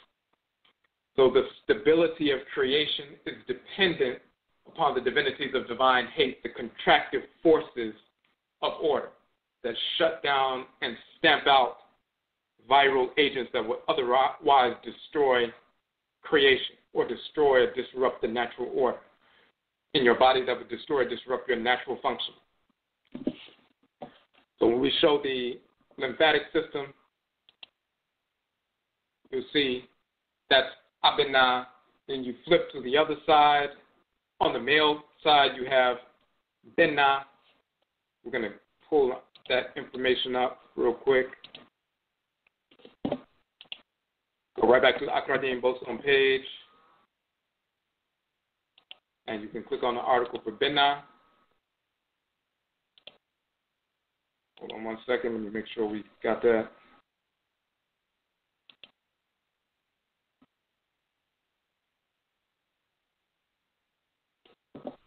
And it's pulling up. So, if you look at the, hold on one second. Let me get this. It didn't pull up correctly. Hold on one second. So Benna is the abosom of the planet Benna, the male title of the planet. So Benna and Abena, Heru-Bedeti, and Sekhmet operate through the same planet, which we call Benna or Abena. The whites and spring call Mars, the red planet, and so forth. He is the abosom of hot metal and war. Benna is the enforcer of divine order. He is the principal agent of the divine hate of Inyamewa, Inyame, just like Sekhmet, Abenaz, the principal agentess of divine hate. He operates as the divine immune system, the military structure within Abadiye, the divine body of Inyamewa, Inyame, and thus the immune system within the, within the Afurakani, Afurakaini, the African black body. We talk about the difference between Heru Bedeti and Heru, son of Alsar and Alset. We show some of his titles. Ancient Kemet, the term Ket, or Ket, is a title, part of his title. Heru, Heri Ket, or Heru, the chief of Ket, which is destruction, meaning hate. Just like Sekhmet has Ket in one of her titles as well. They literally have, when we show the etymology of the term hate in our book, um, in um, Modern Divine Law and Divine Hate, that term Ket comes from ancient Kemet. It's not a Proto Indo European root for the term hate. The term hate that becomes Ket in the Proto Indo European language file, meaning to break or destroy, comes directly from ancient Kemet for Ket, which means to break or destroy, and it shows the hieroglyph or the medut of a man with a stick breaking or destroying and so forth. Keti, which becomes Ket, also is a title of the flying wings, Sundis, the form that Heru takes. So we show all of that information. We show images of a T cell killing a cancer cell, um, blood cells containing iron and so forth. His sacred color is red, um, also red and white. You see that the red and white cells, the operating through the immune system and so forth, all these different um, things. The iron is key with regard to immunity as well. So we show these connections to the immune system, Heru Bedeti, his symbolism in ancient Kemet. So you have the immune system on the masculine side, you have the lymphatic system on the feminine side. When they talk about Sekhmet wading through the blood of the enemy when she slaughtered the disordered individuals in ancient Kemet, Ra sent her to go to slaughter the disordered men and women, and she you know, manifested a great slaughter, and then she started wading through the blood of the slaughtered and so forth. That is the lymphatic cells that are wading through the blood and so forth, attacking, you know, the disordered cells and so forth. That's uh, Sekhmet operating within the body, in the physical body of the Afurakani Afurakani person. So you have the immune system, and then you have the lymphatic system. You have Benna and Abana regulating immunity regulating the stability of the body. Without the immune system, there is no stability. Okay. And of course, if you have any questions or comments in the chat room, log in as a user. If you have any questions or comments on the phone line, hit the number one. All right, we're going to go through the next piece you can get to the article on Awuku. And our focus again here is specifically dealing with the systems that they regulate in the body. We also in the articles talk about how they regulate different aspects of creation and their symbolism in ancient Kemet and their titles in Yakan language and so forth. But tonight we just want to focus on the system. So Awuku or Aku also called Kwekwenansi in the Akan tradition, also called Owuraku. In Akan, he's also called Owur Hekau, the great one of divine words in ancient Kemet. That's the title of Set in ancient Kemet. He's called Owuraku as the title in Akan. He's also called Awuku or Aku. He's the abosom of the planet Aku, so-called Mercury. Awukuda is Wednesday, the day of Awuku. He is the divine messenger or communicator. He is also known as Anansi, the great spider, owner of all stories of the Supreme Being. He governs the divine nervous system, dealing with the peripheral nervous system, the communicative structure of Abadier creation, the divine body of Nyame wa Nyame, and thus the nervous system peripheral within the Afurakani Afurakani black body. And he's also, of course, the owner of the desert. We showed the term Owuraku is a title of Awuku and Akan.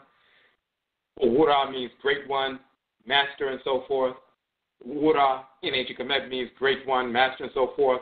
Owura Aku or Awuraku in Akan is a title of Aku in Akan.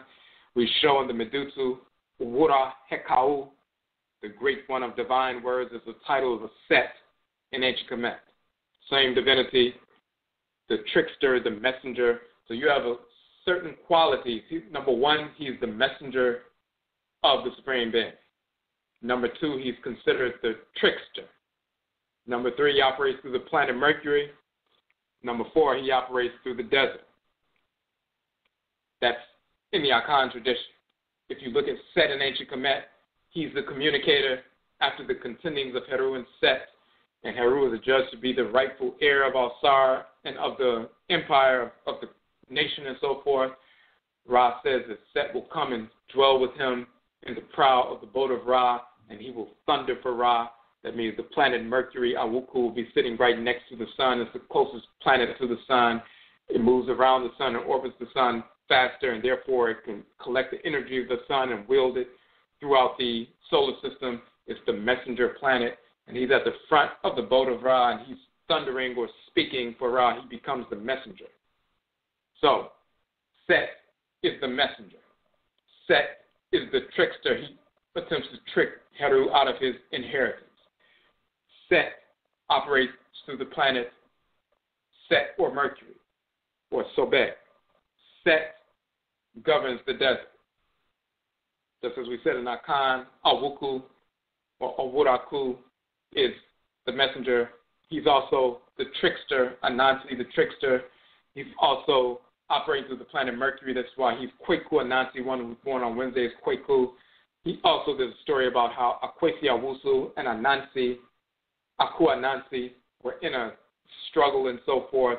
And Inyokompon, the creator, adjudged that Akwesi Awusu would get the fertile land and Set's farm or Anansi's farm would become the desert. This is why Anansi it's the same story of Alsar and Alset, or Alsar and Set. Alsar, the black land, Kam Ur, Set, the red land, the desert in ancient Kemet. The same story of Akwesi Awusu and Aku Anansi. Akwesi Awusu or Awusi Awusu. Alsar gets the fertile land, Anansi gets the desert. So the messenger, the trickster, operates with the planet Mercury, governor of the desert. All four qualities exist for the same deity in both cultures. Of course, we show that we're the first to show that in our publication. When you see Anansi as a spider, that's a title for spider. Um, in, in the Akan language and so forth, you see a spider by a windowsill, come back a couple of days later, and you see they have woven in a web that fills up the entire empty space of the window. Then they can move to any point in that empty space. They are the governor of every road of that empty space. In the same fashion, Anansi Kokroko, Anansi the great spider, weaves a web of tumi or divine power that permeates all of the black substance of space of creation, all of the planets, suns, moons, stars, plant life, animal life, mineral life, and Afurakani, Afurakani, human life has a place on that web of energy. Anansi is the communicator between us and the Abosom and Insamanfo, and the Abosom and Insamanfo, the Supreme Being, to us. He's the navigator of that web. In your body, that worldwide web is the peripheral nervous system. And Anansi moves through as a messenger, moves through that web to bring messages to every part of the body. The endocrine system sends, governed by Awusi, Asar, sends messages or directives through hormonal secretions that are released into the bloodstream. and they reach, you know, those directives reach all the different parts of the body. Akwesi or Awuku Anansi sends messages throughout the body through electric signals that compel responses through the neurons and so forth that reach the different parts of the body. So the hormones send directives and the nervous system through electrical impulses and so forth, and messages through electrical impulses bring that compulsion. So this is why that compulsion, that generation of electromagnetic energy manifests as desire, and sex governs the desire, and so forth. And if your desire becomes misguided, you become lustful and self-destructive. But if it's a harmonious desire, then you desire the things that keep you in harmony and so forth. Set is the messenger, Anansi is the messenger. So that worldwide web in your body is the peripheral nervous system. Regulate once again, it's a regulatory force, a major regulatory force. Of course, nothing can take place within the body without the messenger, without the nervous system. So we show that in the article. We show the spider on the web. We show the nervous system, the connection between that, talking about the peripheral nervous system, which is the web. Okay, so the next piece, we're going to deal with the female abosom Akua, which is Nebet-Het, the wife of Awuku. She's called Agberu, the load bearer, the wife of Eshu. In Yoruba, she's Koni Koni, the wife of Legba and Vodun. Nebet-Het, the wife of Set in ancient Kemet. You'll see in the chart that she governs the renal system,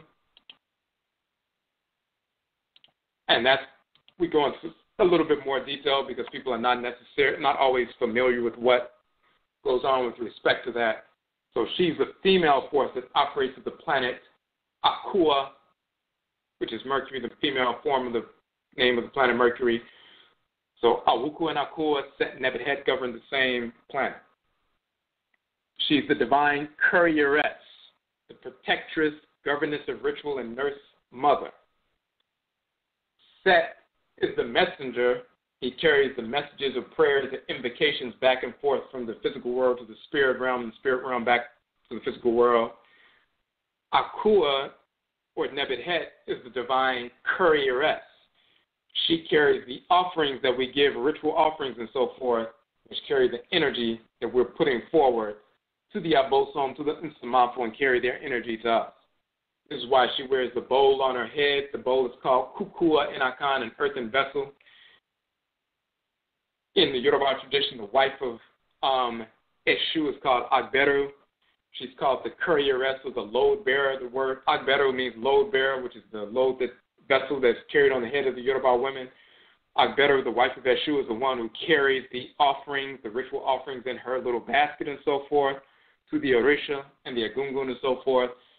Nebet-Het has the vessel on her head. Neb or Nebet is the female vessel. And Het is the ritual enclosure, the structure, the house. So she has the vessel on her head. She's the load bearer. In Yoruba, she's called Agberu, the load bearer. In Akan, she's called Akua. A praise name of Akua is Kukua, and Kukua means a small earthen vessel.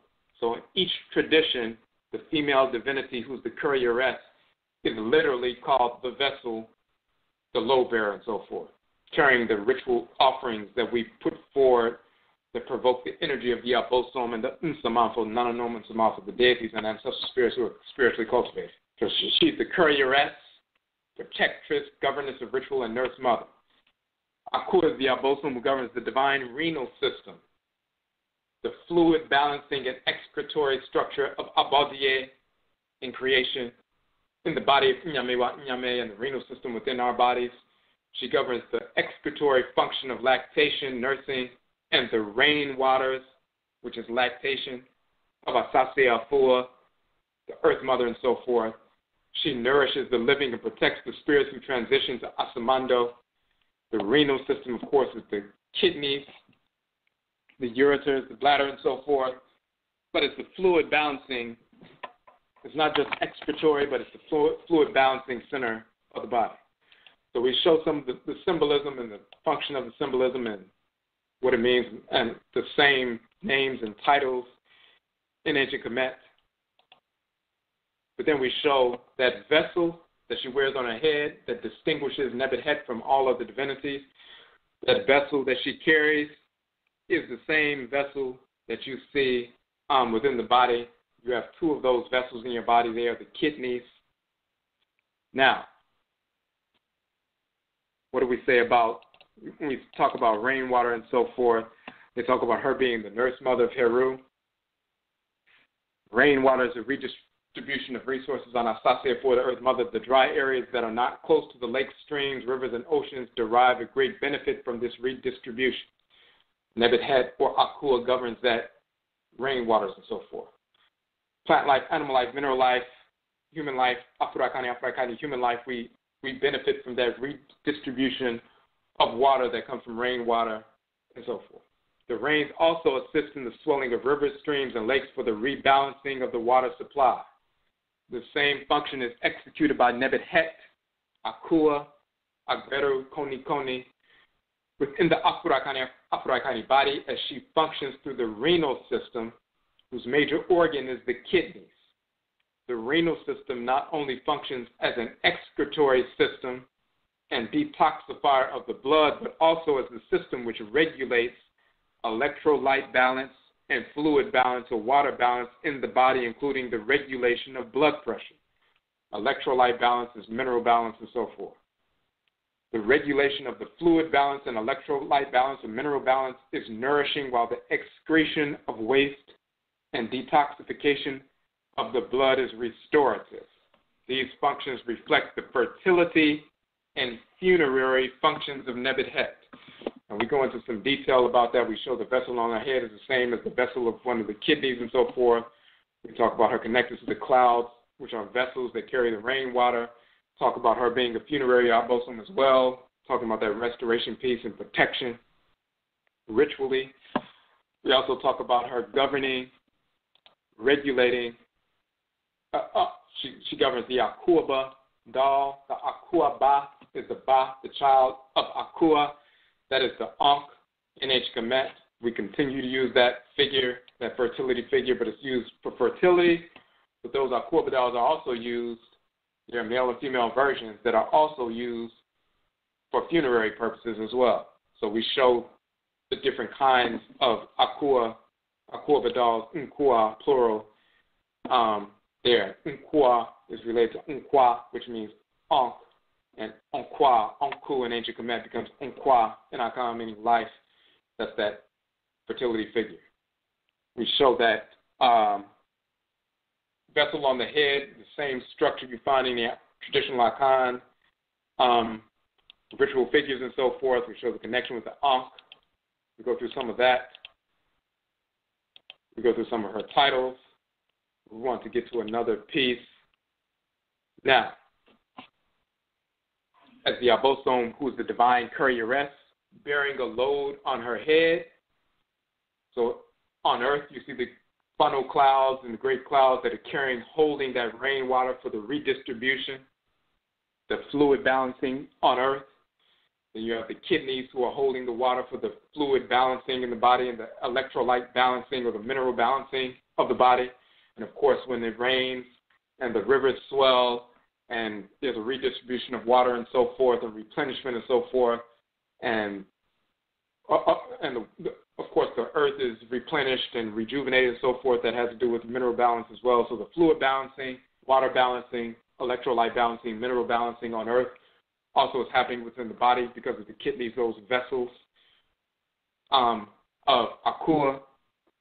She's bearing the load on her head. She's the governess of our emotions. As we nourish ourselves, nutrients are distributed throughout our bodies based on the need of our organs and organ systems. The renal system filters our body and maintains fluid balance.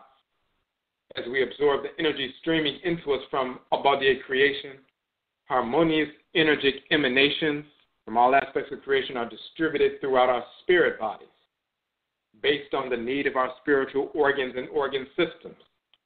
Akua, Nebet Het, filters our spirit body and maintains spiritual fluid balance by excreting perverse, disharmonious, disordered vibrations and projections from disordered entities. Just like the renal system physically balances the water the fluids within your body, the mineral balance in your body, but also excretes toxins through the ur- urinary process and so forth. Gets rid of the toxins so you can be stable. Spiritually, when you're receiving all kinds of projections from creation, Akua receives those in her vessel, the spiritual kidneys and so forth, balances those energetic emanations from the forces in nature and other Afurakani, Afurakani people in plant life, animal life, and mineral life, but she also excretes the negative projections of disordered individuals and entities and so forth. That's the spiritual fluid balance. That's our emotional balance. Our emotional state is a reflection of our own spirit's energetic emanations interacting with, internalizing, and or rejecting the energetic emanations of entities of and within our body. So if you absorb perverse, disharmonious energetic emanations from disordered entities, physical and non-physical, that leads to the perversion of our perception. We have not filtered properly because we have not rejected disorder. Thus, our kukua or our basin on our head becomes a heavy load upon our heads. We become imbalanced, emotionally imbalanced. We're receiving and retaining disordered projections and emanations from perverse individuals, entities, ideas, and so forth, internalizing them, holding them, and we become emotionally unstable because we're not in harmony with our core. If you're not in, if your renal system is not working properly, you're not excreting waste properly, then disease manifests. If you're in harmony with our core, you will uh, excrete negative projections, and you'll only receive and redistribute uh, positive, um, harmonious projections from nature as well as Yabosom as well as Afurakani, Afurakani people. This is what we're dealing with, with with regard to the regulation of fluid balance and electrolyte balance nutrient balance within the body, but also energetic projections and so forth. So the divine renal system within the great divine body is governed by Akua Nebuhet as she operates through the planet Akua or so-called Mercury. All right. Now, we're going to get to the next piece, which is Yao on Yauda, which is Thursday. Yao, this is Heru, the son of Asar and Aset, which is different from Heru, the son of Ra, which is Heru Bedeti. That's the difference between Yao and Benna. That's the difference between Shango and Ogun. That's the difference between Hevioso and Ogu. It's also the difference between Aro and Ikenga in the Igbo tradition. So Yao is the abosom of the planet Yao, which is so-called Jupiter. The term we talk about the term Yao meaning confrontational, aggressive, relentlessly challenging, discord, and so forth. He's the abosom of bravery and strength. He governs kingship and rulership, governs the divine cardiovascular system, a governmental structure within body creation. The divine body of Inyame wa Inyame, and just thus the cardiovascular system within the Afurakani Afurakani black body. We show how his name Yao is a title in ancient Kemet for Heru. He's called Heru Yao, which means confrontational, a fighter, combatant, and so forth. He's called Yao in Akan. We show the term Heru becoming Horu and Shoru in Coptic. Shoru becomes Soru or Soro in Akan or Soro Yao comes from Horu Yao in ancient Kemet, same deity.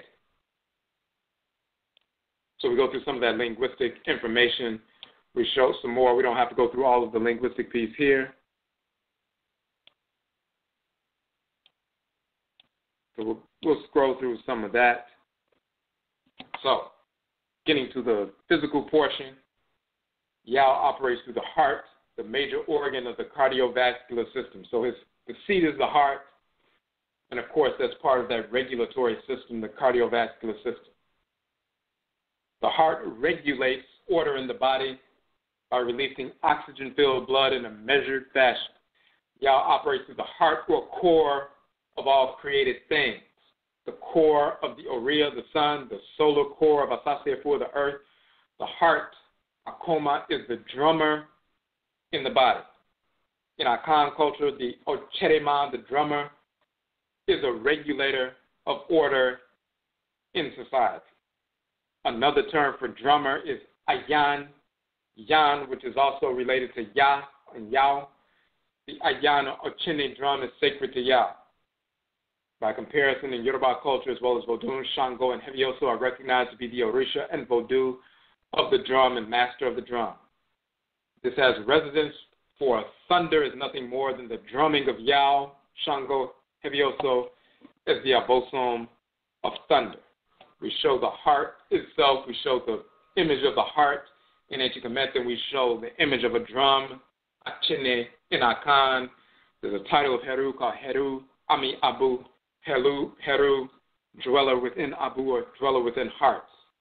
The title of Heru in Kemet. Gives an abosom of bravery and strength. In Akan culture, the term Akoko Duru defines one who is brave or has courage. Akoko, chest, and Duru, weight, meaning the chest has weight. You have a stout chest, a heavy chest, strong chest, and so forth, meaning you have courage. And of course, that term Heru, Ami Abu in ancient Kemet, Heru, who dwells in hearts, that means somebody who has heart. Akoko Duru, that's a title of Yao, the abosom of bravery and so forth, and strength, seated in the heart. Now, Yao is the largest planet, or his planetary home is the largest planet, the king of the planets. He governs kingship and rulership, so the king of the planets is Yao, so called Yao Pater, or Pater Yao, or Father Yao, which corrupted into Jupiter. But in Akan culture, it's called Yao and ancient Kemet as well. that term Yao, the heaviest or largest planet, the king of the planets. It is the planetary home of Yah, while the core of the sun is the solar home of Yah. He's the core of things. He's the core of the sun, core of the earth in the solar system. King planet or the core planet, the largest planet, is the planetary home of Heru or Yah. You'll see that in that planet Yah, the great great red spot is the same structure as the eye of Heru and so forth. We go into some detail about that. We show the connection of Wachet and Nekabet in connection with Yao and so forth. Um, we also show, you know, Aset and Heru and how they corrupted that into Mary and Jesus, the fictional cartoon characters who never existed, white or black. We go into some detail about that.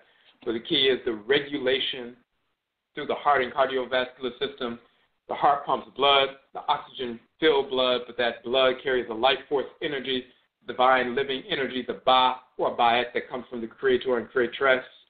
And Yonkumpon and the Yonkum called Ra and Ra'et and Ancient Kemet, the divine living energy moving through the bloodstream is regulated by Heru through the palpitations of the heart. The heart will speed up when you need more blood, slow down when you you know when you become calm and so forth regulating the flow of blood is reg- and and and you know sending that blood to the different organs and tissues and so forth. That's also regulating the flow of divine living energy, the Ba by it. Sending blood to the different organs is giving a blood sacrifice and energy contained within the blood. You, you're sending some blood or giving a blood sacrifice to each one of the organs of the shrines of the divinities when you speed up the heart and you're pumping extra blood and so forth to flood different organs and glands. That's a blood sacrifice, a blood offering to the shrines of the divinities within your body.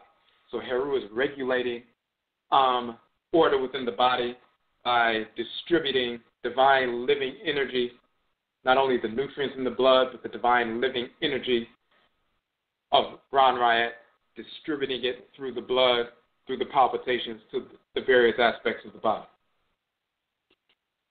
That's a regulatory function.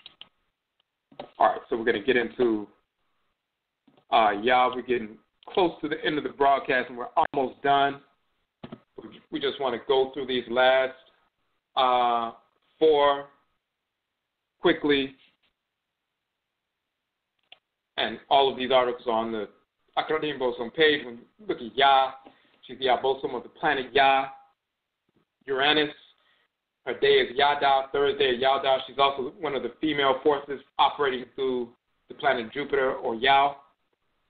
But her planetary home is Ya or Uranus. We're the first to show that and prove that with regards to the Akradin Bosom. She's referred to as fierce attacker, relentlessly assailing disorder. She's the abosom of fighting and punishment. She's an abosom who is a protectress of royal sovereignty. Yah, along with her twin sister Abba, govern the divine magnetosphere, a governmental structure preserving stability within the Abadieh creation, the body of the supreme being, and thus the magnetosphere permeating Asase Afua the earth mother and the Afurakani Afrakaini body. And we go into some detail about the names and the titles and so forth. We talk about the magnetosphere. We show the connection between Yah and Abba, which is Wachet, and Nekabet and Nejikamet and their connection to Heru. But there's a couple of things we want to focus on here.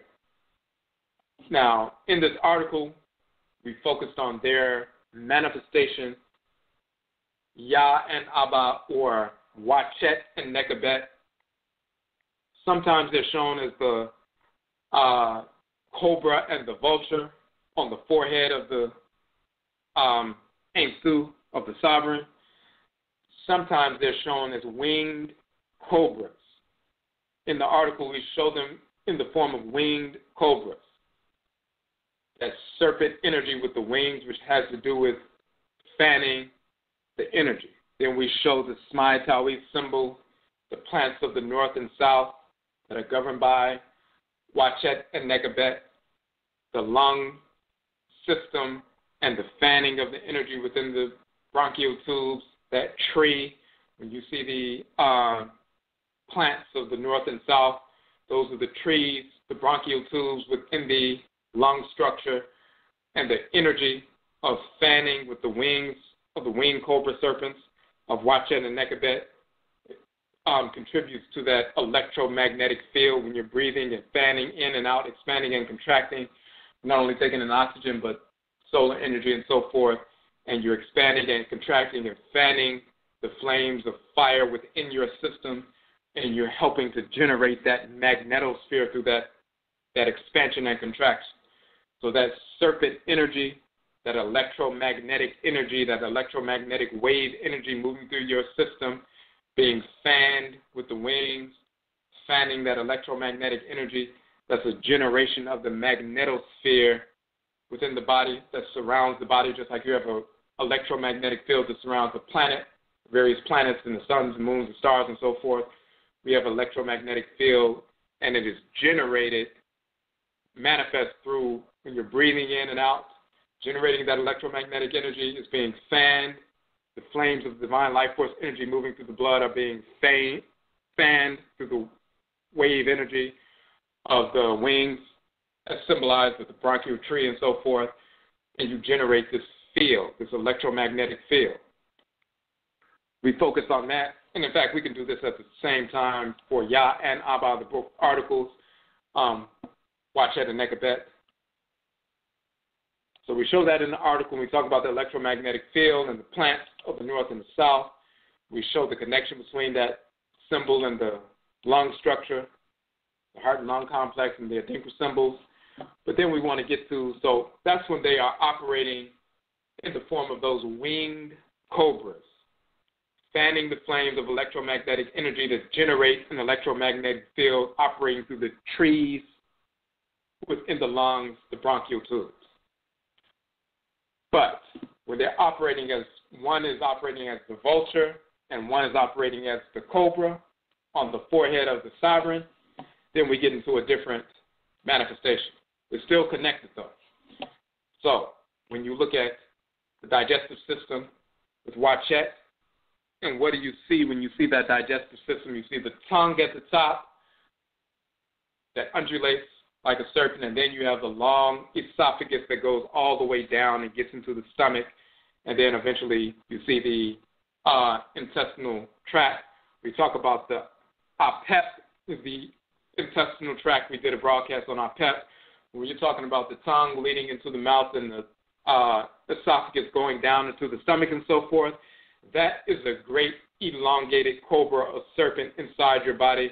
That is Wachet when she's manifesting as the serpent on the head of the sovereign, and then Nekabet um, is manifesting as the vulture, which we're about to get into. Notice how serpents or cobras or pythons, when they're consuming food and so forth, they simply swallow the entire animal whole and it moves through that long body and so forth, and it begins to be broken down by the gastric juices and so forth in that serpent. And the same thing is similar to your esophagus. You have your tongue, which is that undulating movement like a serpent. You swallow the food and it moves through the serpentine body of the esophagus and gets into the stomach, and then it's broken down by the gastric acid and so forth. You have that serpent there, and it begins to remove the nutrients and take the energy, the fire, the fuel that is manifest, the consumption of the food. You generate some food, you generate some fuel. That's part of that process. Now you look at Abba or Nekabet, and we say that's the respiratory system. We're talking about the regulatory function now. You have the great serpent inside of your body, the esophagus reaching up out of the mouth and swallowing whole, you know, the prey. And then taking um, energy out of that, what has been swallowed, and generating fuel or fire from the burning of that fuel. Now you look at Nekabet, who manifests as the great vulture. And if you look at the lung structure, and if you look at the vulture with the wings folded down, the protective nature of the lung tissue on the outside. We're not talking about the bronchial tubes on the inside with the winged cobra manifestation. We're talking about the tissue of the lungs on the outside. Um, that is the great vulture. And then, of course, you see the trachea and you see the head of the vulture and the long neck of the vulture coming out of the trachea and so forth. But you see the little vulture sitting inside your chest with the great wings folded down, the lung tissue and so forth. And you see the, you know, throat and the long neck of the vulture, the quote unquote buzzard and so forth, uh, sticking out. So the fanning of the wings, the expansion and the contraction of the lungs, that has to do with the expansion and contraction of the air that's being moving moving through the lungs and the life force energy that's within the air in concert with the fuel that's generated from the food that you consume and once the nutrients are consumed and the fire is released from that fuel that you're generating by consumption, that body heat and so forth, the heat, the fire generated through consumption, digestion from wachet, and then the fanning of that energy through the lung tissue that's governed by that great vulture sitting in the chest. That's the combination of those regulatory functions as serpent and vulture that generate the magnetosphere, the magnetic field, and they also operate within the bronchial tubes as uh, winged cobras as well. So there's two manifestations of them, internally and externally. So we go into some detail about that there, um, but that's the connection between Wachet dealing with the digestive system as a regulatory function and uh, Nekabet or Abba dealing with the respiratory function, the great vulture sitting in the chest, fanning the flames of the divine Ba or by divine living energy. So the last two is Afi and Amen Men, which is Het Heru and Amen Men. Now on the internal piece, you have we talk about Het Heru, and let's pull this up right quick.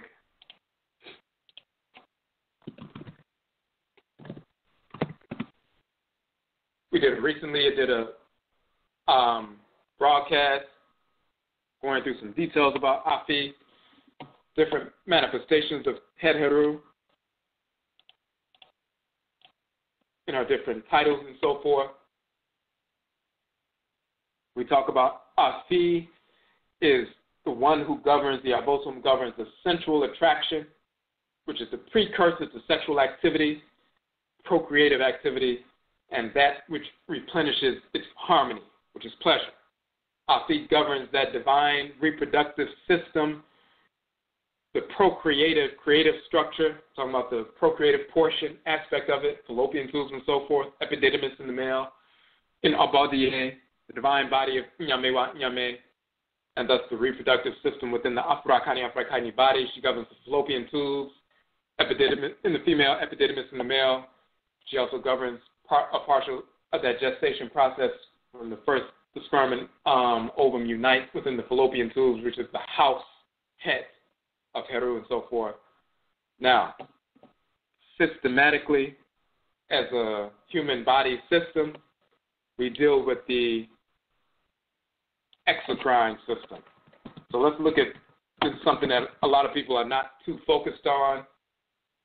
So we talked about the endocrine glands, which are ductless glands that secrete hormones into the bloodstream. The exocrine glands are glands that produce and secrete substances onto an epithelial surface by way of a duct. So the endocrine glands are ductless, they release the hormones directly in the bloodstream. No ducts, no tubes, and so forth. The exocrine glands have tubes or ducts, and they release the substances on a surface. Um, epithelial uh, surface by way of the ducts. Examples of exocrine glands include sweat, salivary, mammary, um, and other glands. Now, let's pull this up right quick. You can see a chart with the different exocrine glands. We don't have to go through all of them. I just wanted to pull up, hold on one second. I think we had, okay, we had something pulled up. Um, it's not pulling up, so give me a second.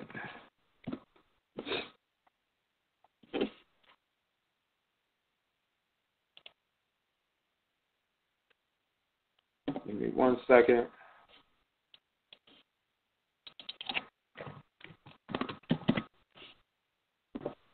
All right. Okay. So, exocrine system, some of the glands, sweat glands, uh, secrete sweat located in the dermis of the skin, salivary, um, mammary glands, milk producing glands of the female, prostate, the semen producing glands of men, um, the sebaceous gland, the small gland in the skin, which secretes an oily substance to lubricate the skin and hair, um, mucus substance used for lubrication and protection. Those are different things. They uh, secretions lead ultimately to the exterior of the body, so the inner surface of the glands and the ducts that drain them are similar to the skin. That's a major piece. Um, there was one other portion. Okay. We just want. Um, it was one other portion I wanted to make sure we got.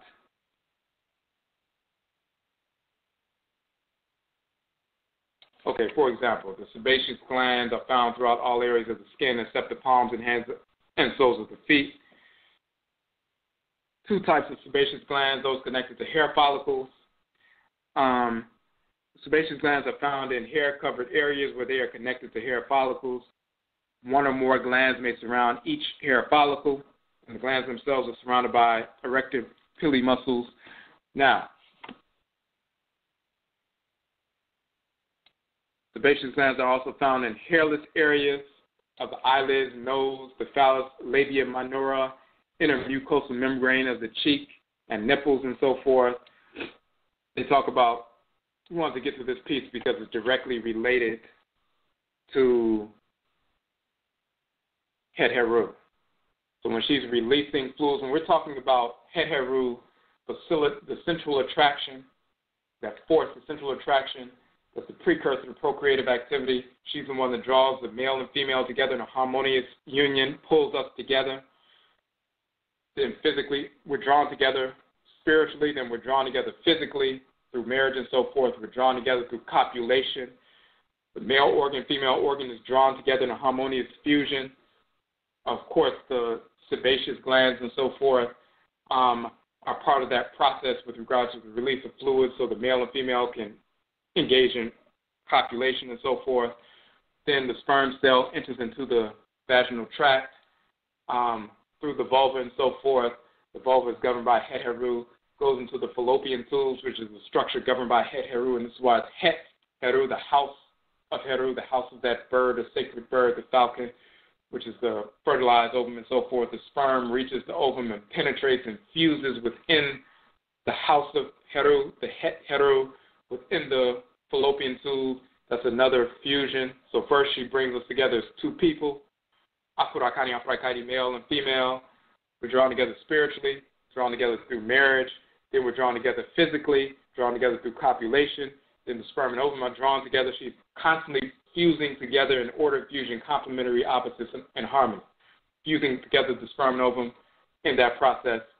And then, of course, um, gestation begins after that. Every, internally, she's, you know, in the fallopian tubes and so forth. Externally, that that uh, integumentary system, which is the skin, and, and the exocrine system, which is dealing with the glands that are releasing these fluids that allow us to facilitate these aspects of copulation, union, fusion, all these different things, whether it's salivary glands, mammary glands, um, the glands connected to the uh, prostate, dealing with the semen and so forth, the release of lubricant for the vulva and so forth, as well as the vagina. All these different things are happening that have to do with that central attraction that's the precursor to procreative, procreative activity and the replenishment of its harmony, replenishment of that procreative activity, that ordered fusion is harmony. Harmony is just the manifestation of order. And we talked about that in the piece dealing with Het Heru. So um, the, that broadcast with Het Heru. But the key is internally she's governing the, the fallopian tubes that fuse together in order fusion the sperm and ovum. Externally she's governing that, that regulatory system that facilitates that attraction and fusion and so forth is manifest through the exocrine glands and all the different functions that lead to that uh, central attraction and ordered fusion. Okay, and the final piece, we only have a couple of minutes left in the show. So for those, if you can't stay on, if you want to stay on beyond 11:30, you must get on the phone um, within the next 90 seconds. The phone number is 646 787 8155. 646 787 8155.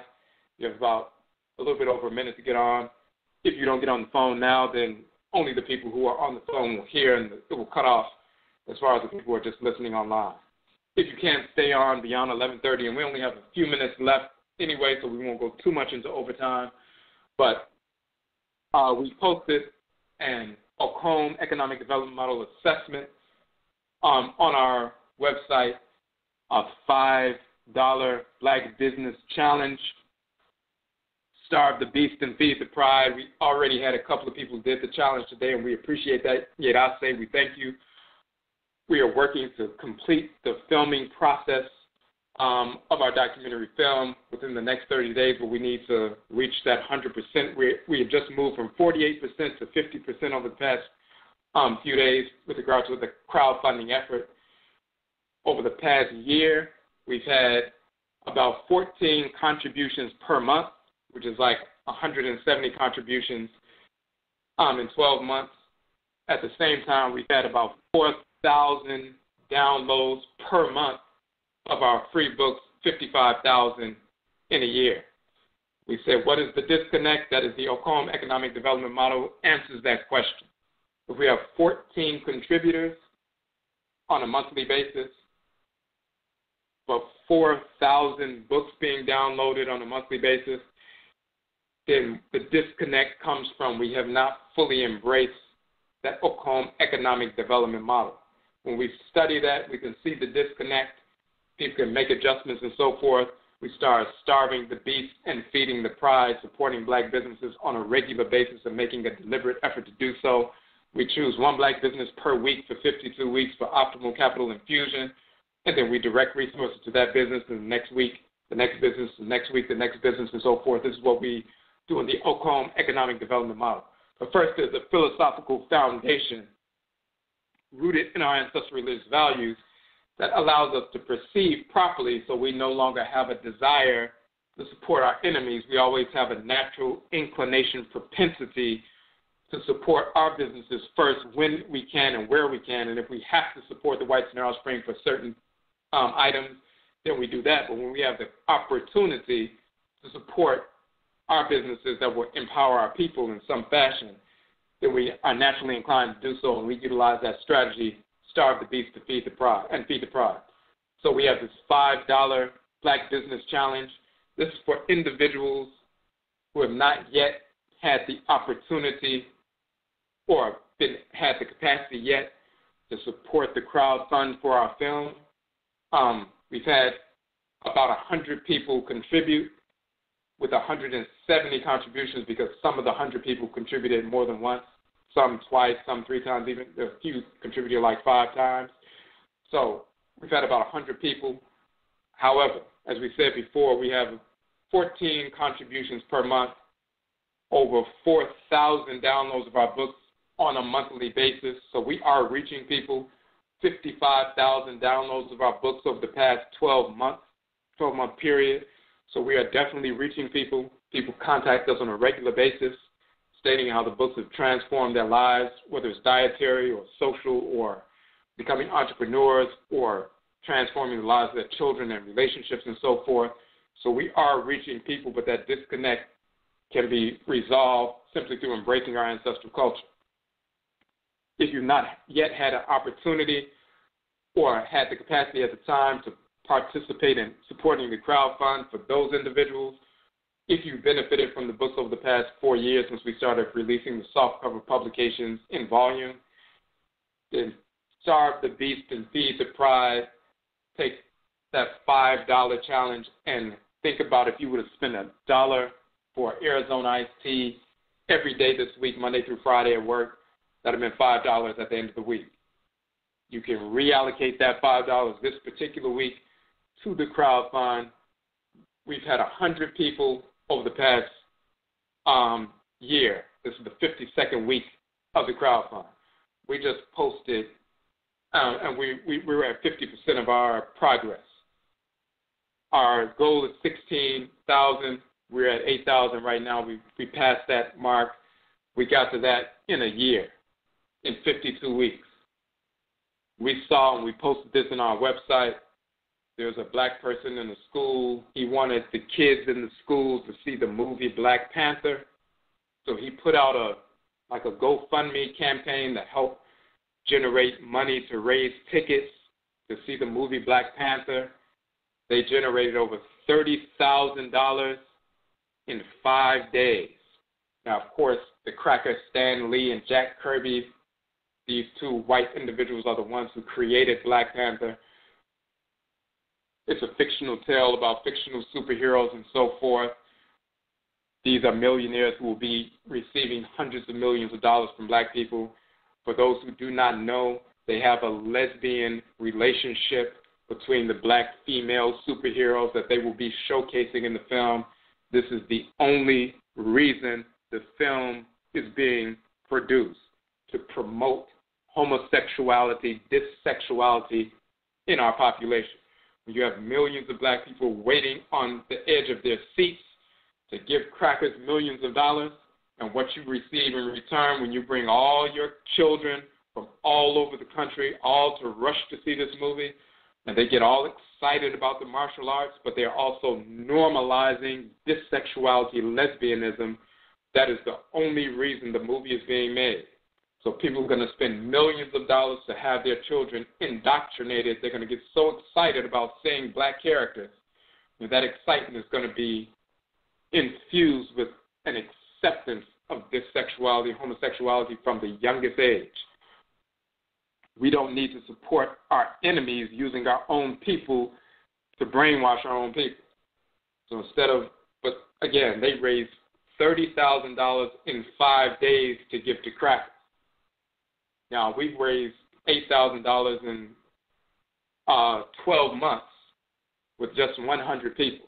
But of course, they've had, you know, they raised thirty thousand dollars because a bunch of people jumped in because they just want their children to see this movie. It's so important to give white millionaires millions more dollars to brainwash our people to force this sexuality, this sexual agenda on our people.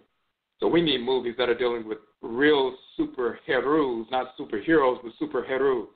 And super superheroes our ancestresses and ancestors who use our divination systems to guide us towards waging war against the whites and offspring and freeing us from enslavement in the Western Hemisphere. The reason we're sitting here physically able to walk around without chains on is because our real superheroes and superheroes actually used our own divination systems as guidance to wage war effectively. That's what our people need to be watching, not giving all our money to our enemies, the whites and offspring, to promote this sexuality.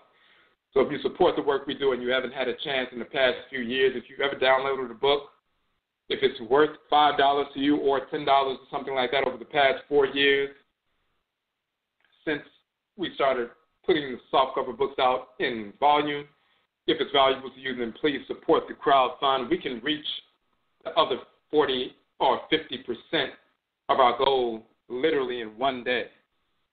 If 100 people or 14 contributions a month the people who are downloading the thousands of books every single month, if just 10% of them, 400 of those people made a contribution, we would have had the, you know, the funding there in one day immediately. So, but we still have, there are at least hundreds of people out of the 4,000 per month who download the books never had a chance to contribute. Think about what funds you may have spent with the whites this week on something that you may have not really needed if you really think about it, and take that five dollar challenge. It doesn't have to be five; it could be more. Somebody did five today. Somebody did ten today. So whatever you know amount you can contribute, we say yeah, say we thank you because we would like to complete the film in the 30 day, the next 30 day process once we reach that goal, and have the film out before the beginning of spring, before March 20th, 21st. And we can meet that obligation, but we do need the assistance of the community. Okay, so we're going to, the last piece is the divinity Amen Men.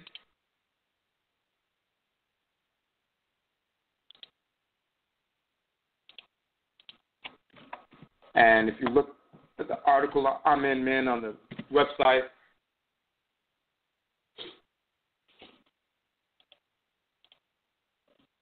He's referred to as the Ancient One, governs the planet, Amini.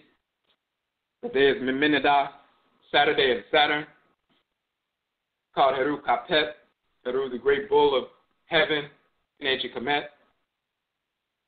The planet Saturn is also, also called Seba Amit, which is the star of the Amit or west, the western star. This is why he's called Amini, and Amen Men in our Akan culture is called the deity Men or Amen Men in ancient Kemet. He is the abosom of creation, ancient one, defender of the past. He's an elder repository of ancestral tradition and protocol, governs the divine axis or central nervous system, a regulatory structure within our body a creation, the divine body of Nyame Wa Nyame, and thus the axis central nervous system, brain, and spinal column within the Afurakani Afurakani body. And when you look at the brain and spinal column, they call that the central nervous system. If you look at the term Amimini, that is one of the terms for brain in the Akan language.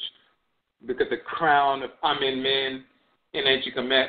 He has a crown like a skull cap and then a ribbon hanging from the back of the head all the way down to the ground. Egyptologists never understood what that symbol was. We are the first to prove exactly what that crown is. It's the central nervous system, the brain, and the spinal column. That is the crown of Amen Men, which they never understood because they didn't know that Amen Mini is name for brain and also the name of the deity, also the name of the planet in the Akan tradition, as well as ancient Kemet and so forth. But when we talk about an overall system, inclusive of the brain and spinal column, um, what governs that brain and spinal column, of course, is the skull and the vertebrae and the entire skeletal system. So when you see that crown, you see the central nervous system. When you see that mummified wrapping of Amen Men, divinity men, and he's it's a phallic, meaning he has an erect phallus constantly inseminating creation. He's the great bull of heaven, Heru Kapet. Ka meaning bull, also Ka meaning phallus. He's also inseminating the great cow, the great Kaet of creation, which is Het Heru, who's called Min Minit in this capacity. Kaet means cow, it also means soul, it also means vagina. So Ka and Kaet are the male and female terms for soul, Ka and Kaet are the male and female terms for bull and cow. Ka and Kaet are the male and female terms for phallus and vagina, governed by Min and Het Heru, or Min and Min Minit. He's called Orisha Oko, and she's called Oshun Ibu Dioko, the wife of Oko in Yoruba, Azaka, and Erzuli in Vodou. Now, in Kemet, Amen Men is called men. He's depicted in mummy form. He's enshrouded. That's talking about preservation in that white, you know, mummified form. He preserves through that mummified form intact our cultural order, our amambre, our culture. He enshrines or crystallizes our traditions. When one is mummified, they're impervious to decay. He's enshrining, preserving, crystallizing our traditions, protocol. He's the great elder and all of that. He's shown erect, as we said, constantly impregnating creation. Um, the bull of heaven inseminating the great cow, which is Het Heru. Here's the other key piece, and that's why they call him in our Akan culture the ever ready shooter, Aktua Poma, and so forth. Our Akan academics thought that meant he was meant he was battle ready. He's always ready to shoot because they didn't understand the cosmology. The ever ready shooter, Aktua Poma, and so forth, really means the one who is constantly shooting or inseminating the great cow. He's ithyphallic, shown with the erect phallus constantly inseminating, fertilizing creation. That's why he's the ever ready shooter and so forth. That's what it actually means. But also, with regard to that enshrining, that white um, mummy form and so forth, and of course, he's wearing all white in the Orisha tradition. He's one of the Orisha Fun Fun, or the quote unquote white Orishas, meaning the sacred color and the foods and so forth are white. Um, it's the same thing. It's talking about that enshrining of culture, that elder or elder status, just like the white hair and so gray hair and so forth, that enshrining of of ancestral protocol. But here's the other key with regard to that. Enshrining that ancestral protocol on the physical body, you're talking about the enshrining of all of the organs and systems and everything else. That's what the skeletal system does. Now, our people always understood that.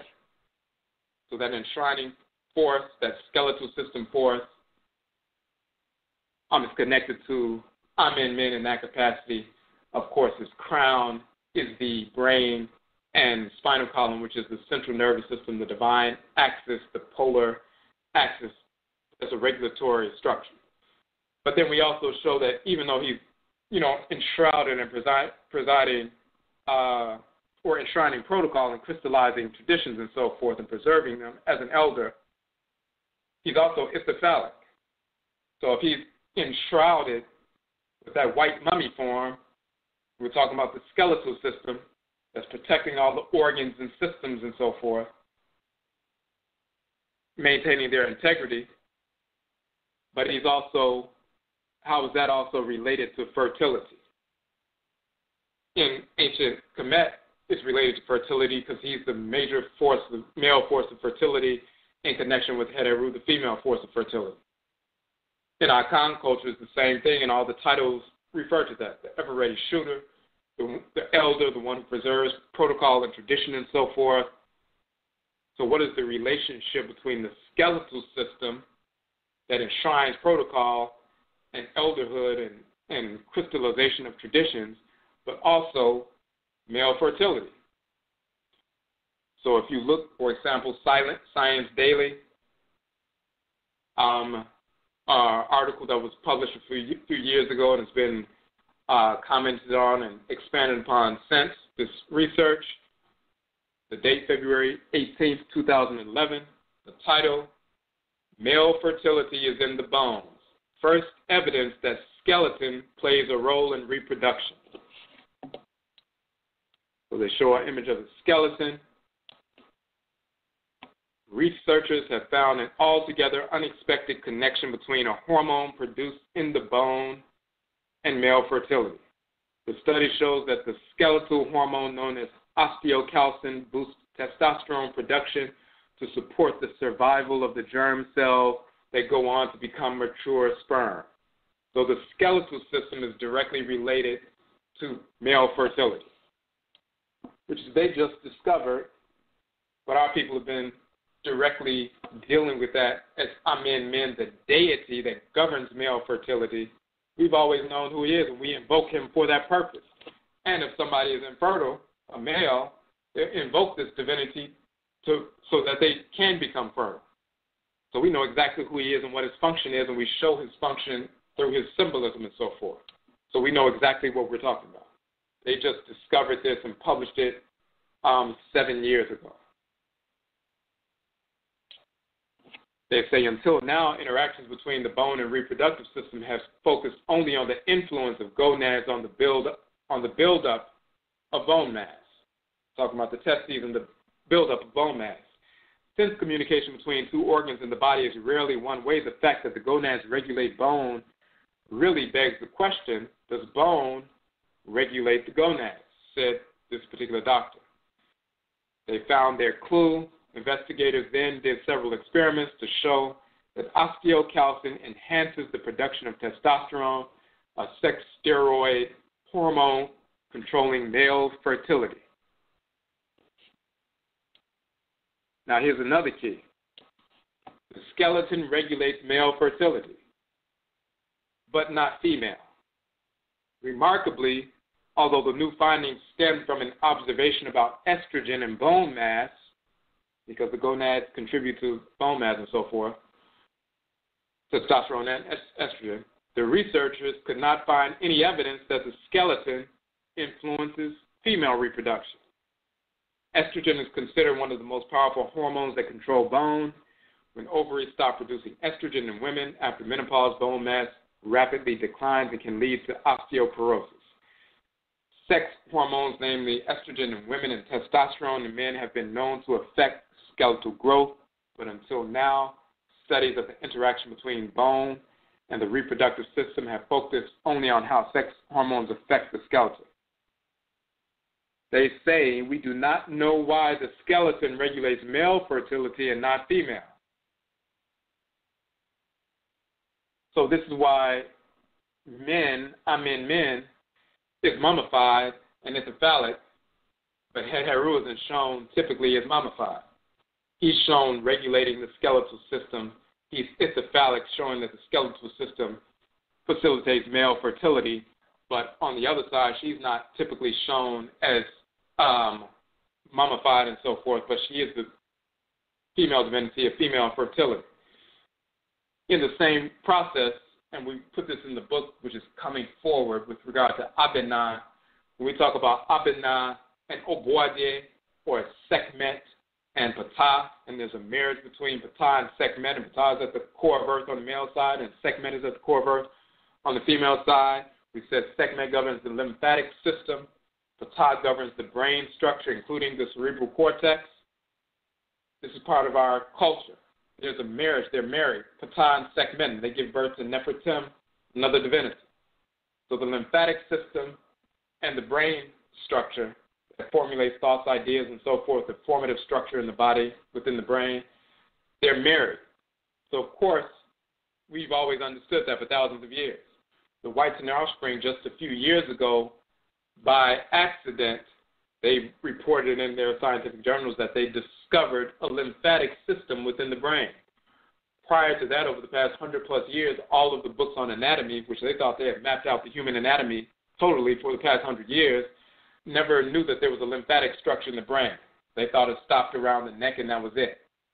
Because they were studying mice and doing some other experiments, they stumbled across the lymphatic structure in the brain, and now all of the books on human anatomy that have been written over the past hundred years have to be rewritten because they discovered this new lymphatic structure in the brain. That is the union of Sekhmet, the lymphatic structure, married to Ptah in the brain structure, which is part of our cosmology and is common knowledge amongst all Afurakani Afurakani people, youth as well as adults, because we teach them about the marriage of um, Sekhmet and Ptah.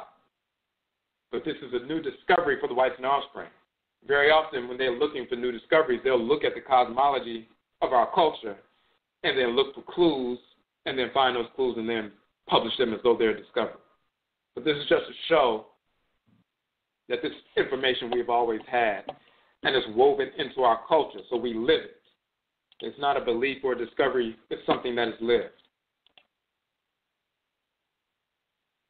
Okay, so it is um so that was the last piece. We already are way into overtime. We're going to end the broadcast here. If you have any questions or comments, just send us a link.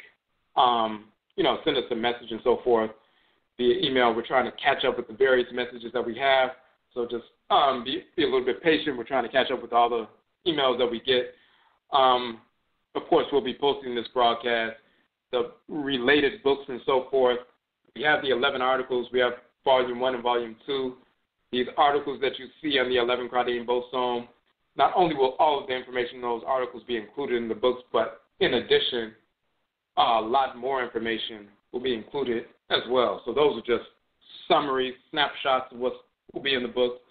As you see in volume one and volume two, you see the detailed information there. All the other volumes will be the same, and we plan to finish that entire series this year of 13,018. So we'll have the entire set. Right now we have volumes one and two. Volume three is almost done, um, which can be done within the next few weeks. Um, and then volume four, five, and six over the next few months. So we'll have the entire series of Akradin Bosom out. But again, if you have any questions about that, any of the information, just uh, send us an email. But once again, we are trying to get the film done. We've been at this for a year with regard to the funding, but we've also been having our conferences. We released like five books last year, working on this third Akradin Bosom volume. We have a Happy Meta retreat coming up in four weeks, and we still have a couple of spaces. So if you would like to um, attend that, go directly to the page. We have our Etchy Sign conference coming up in March. So we have a number of things coming up, but the primary piece is we do, well, first and foremost, we do have to, you know, the uh, retreat is coming up right away in the next few weeks, actually four weeks from now. But at the same time, we're trying to get the film done within the next 30 days, the completion of the film, filming piece, and then we go through the editing process so we can have it ready in March. So by the spring equinox, so we just need the assistance of the community.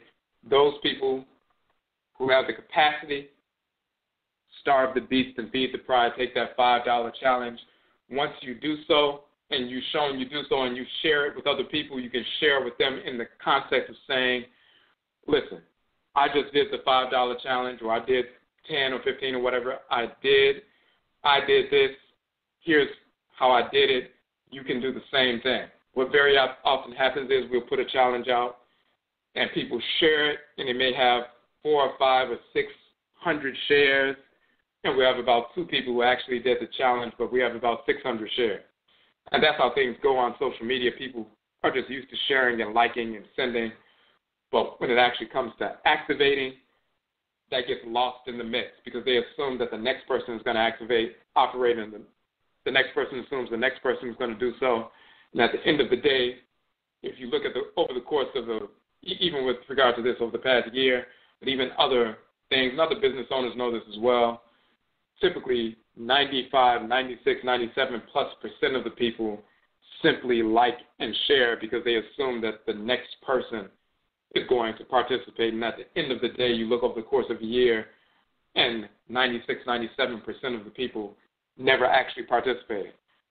So you do so, operate, take the challenge yourself, and then show people you actually did it, and then share. When they see you did it, they're likely to follow suit and do the same thing and participate first and then share. They make the contribution first and then share again, we can get to our goal within uh, a day, literally.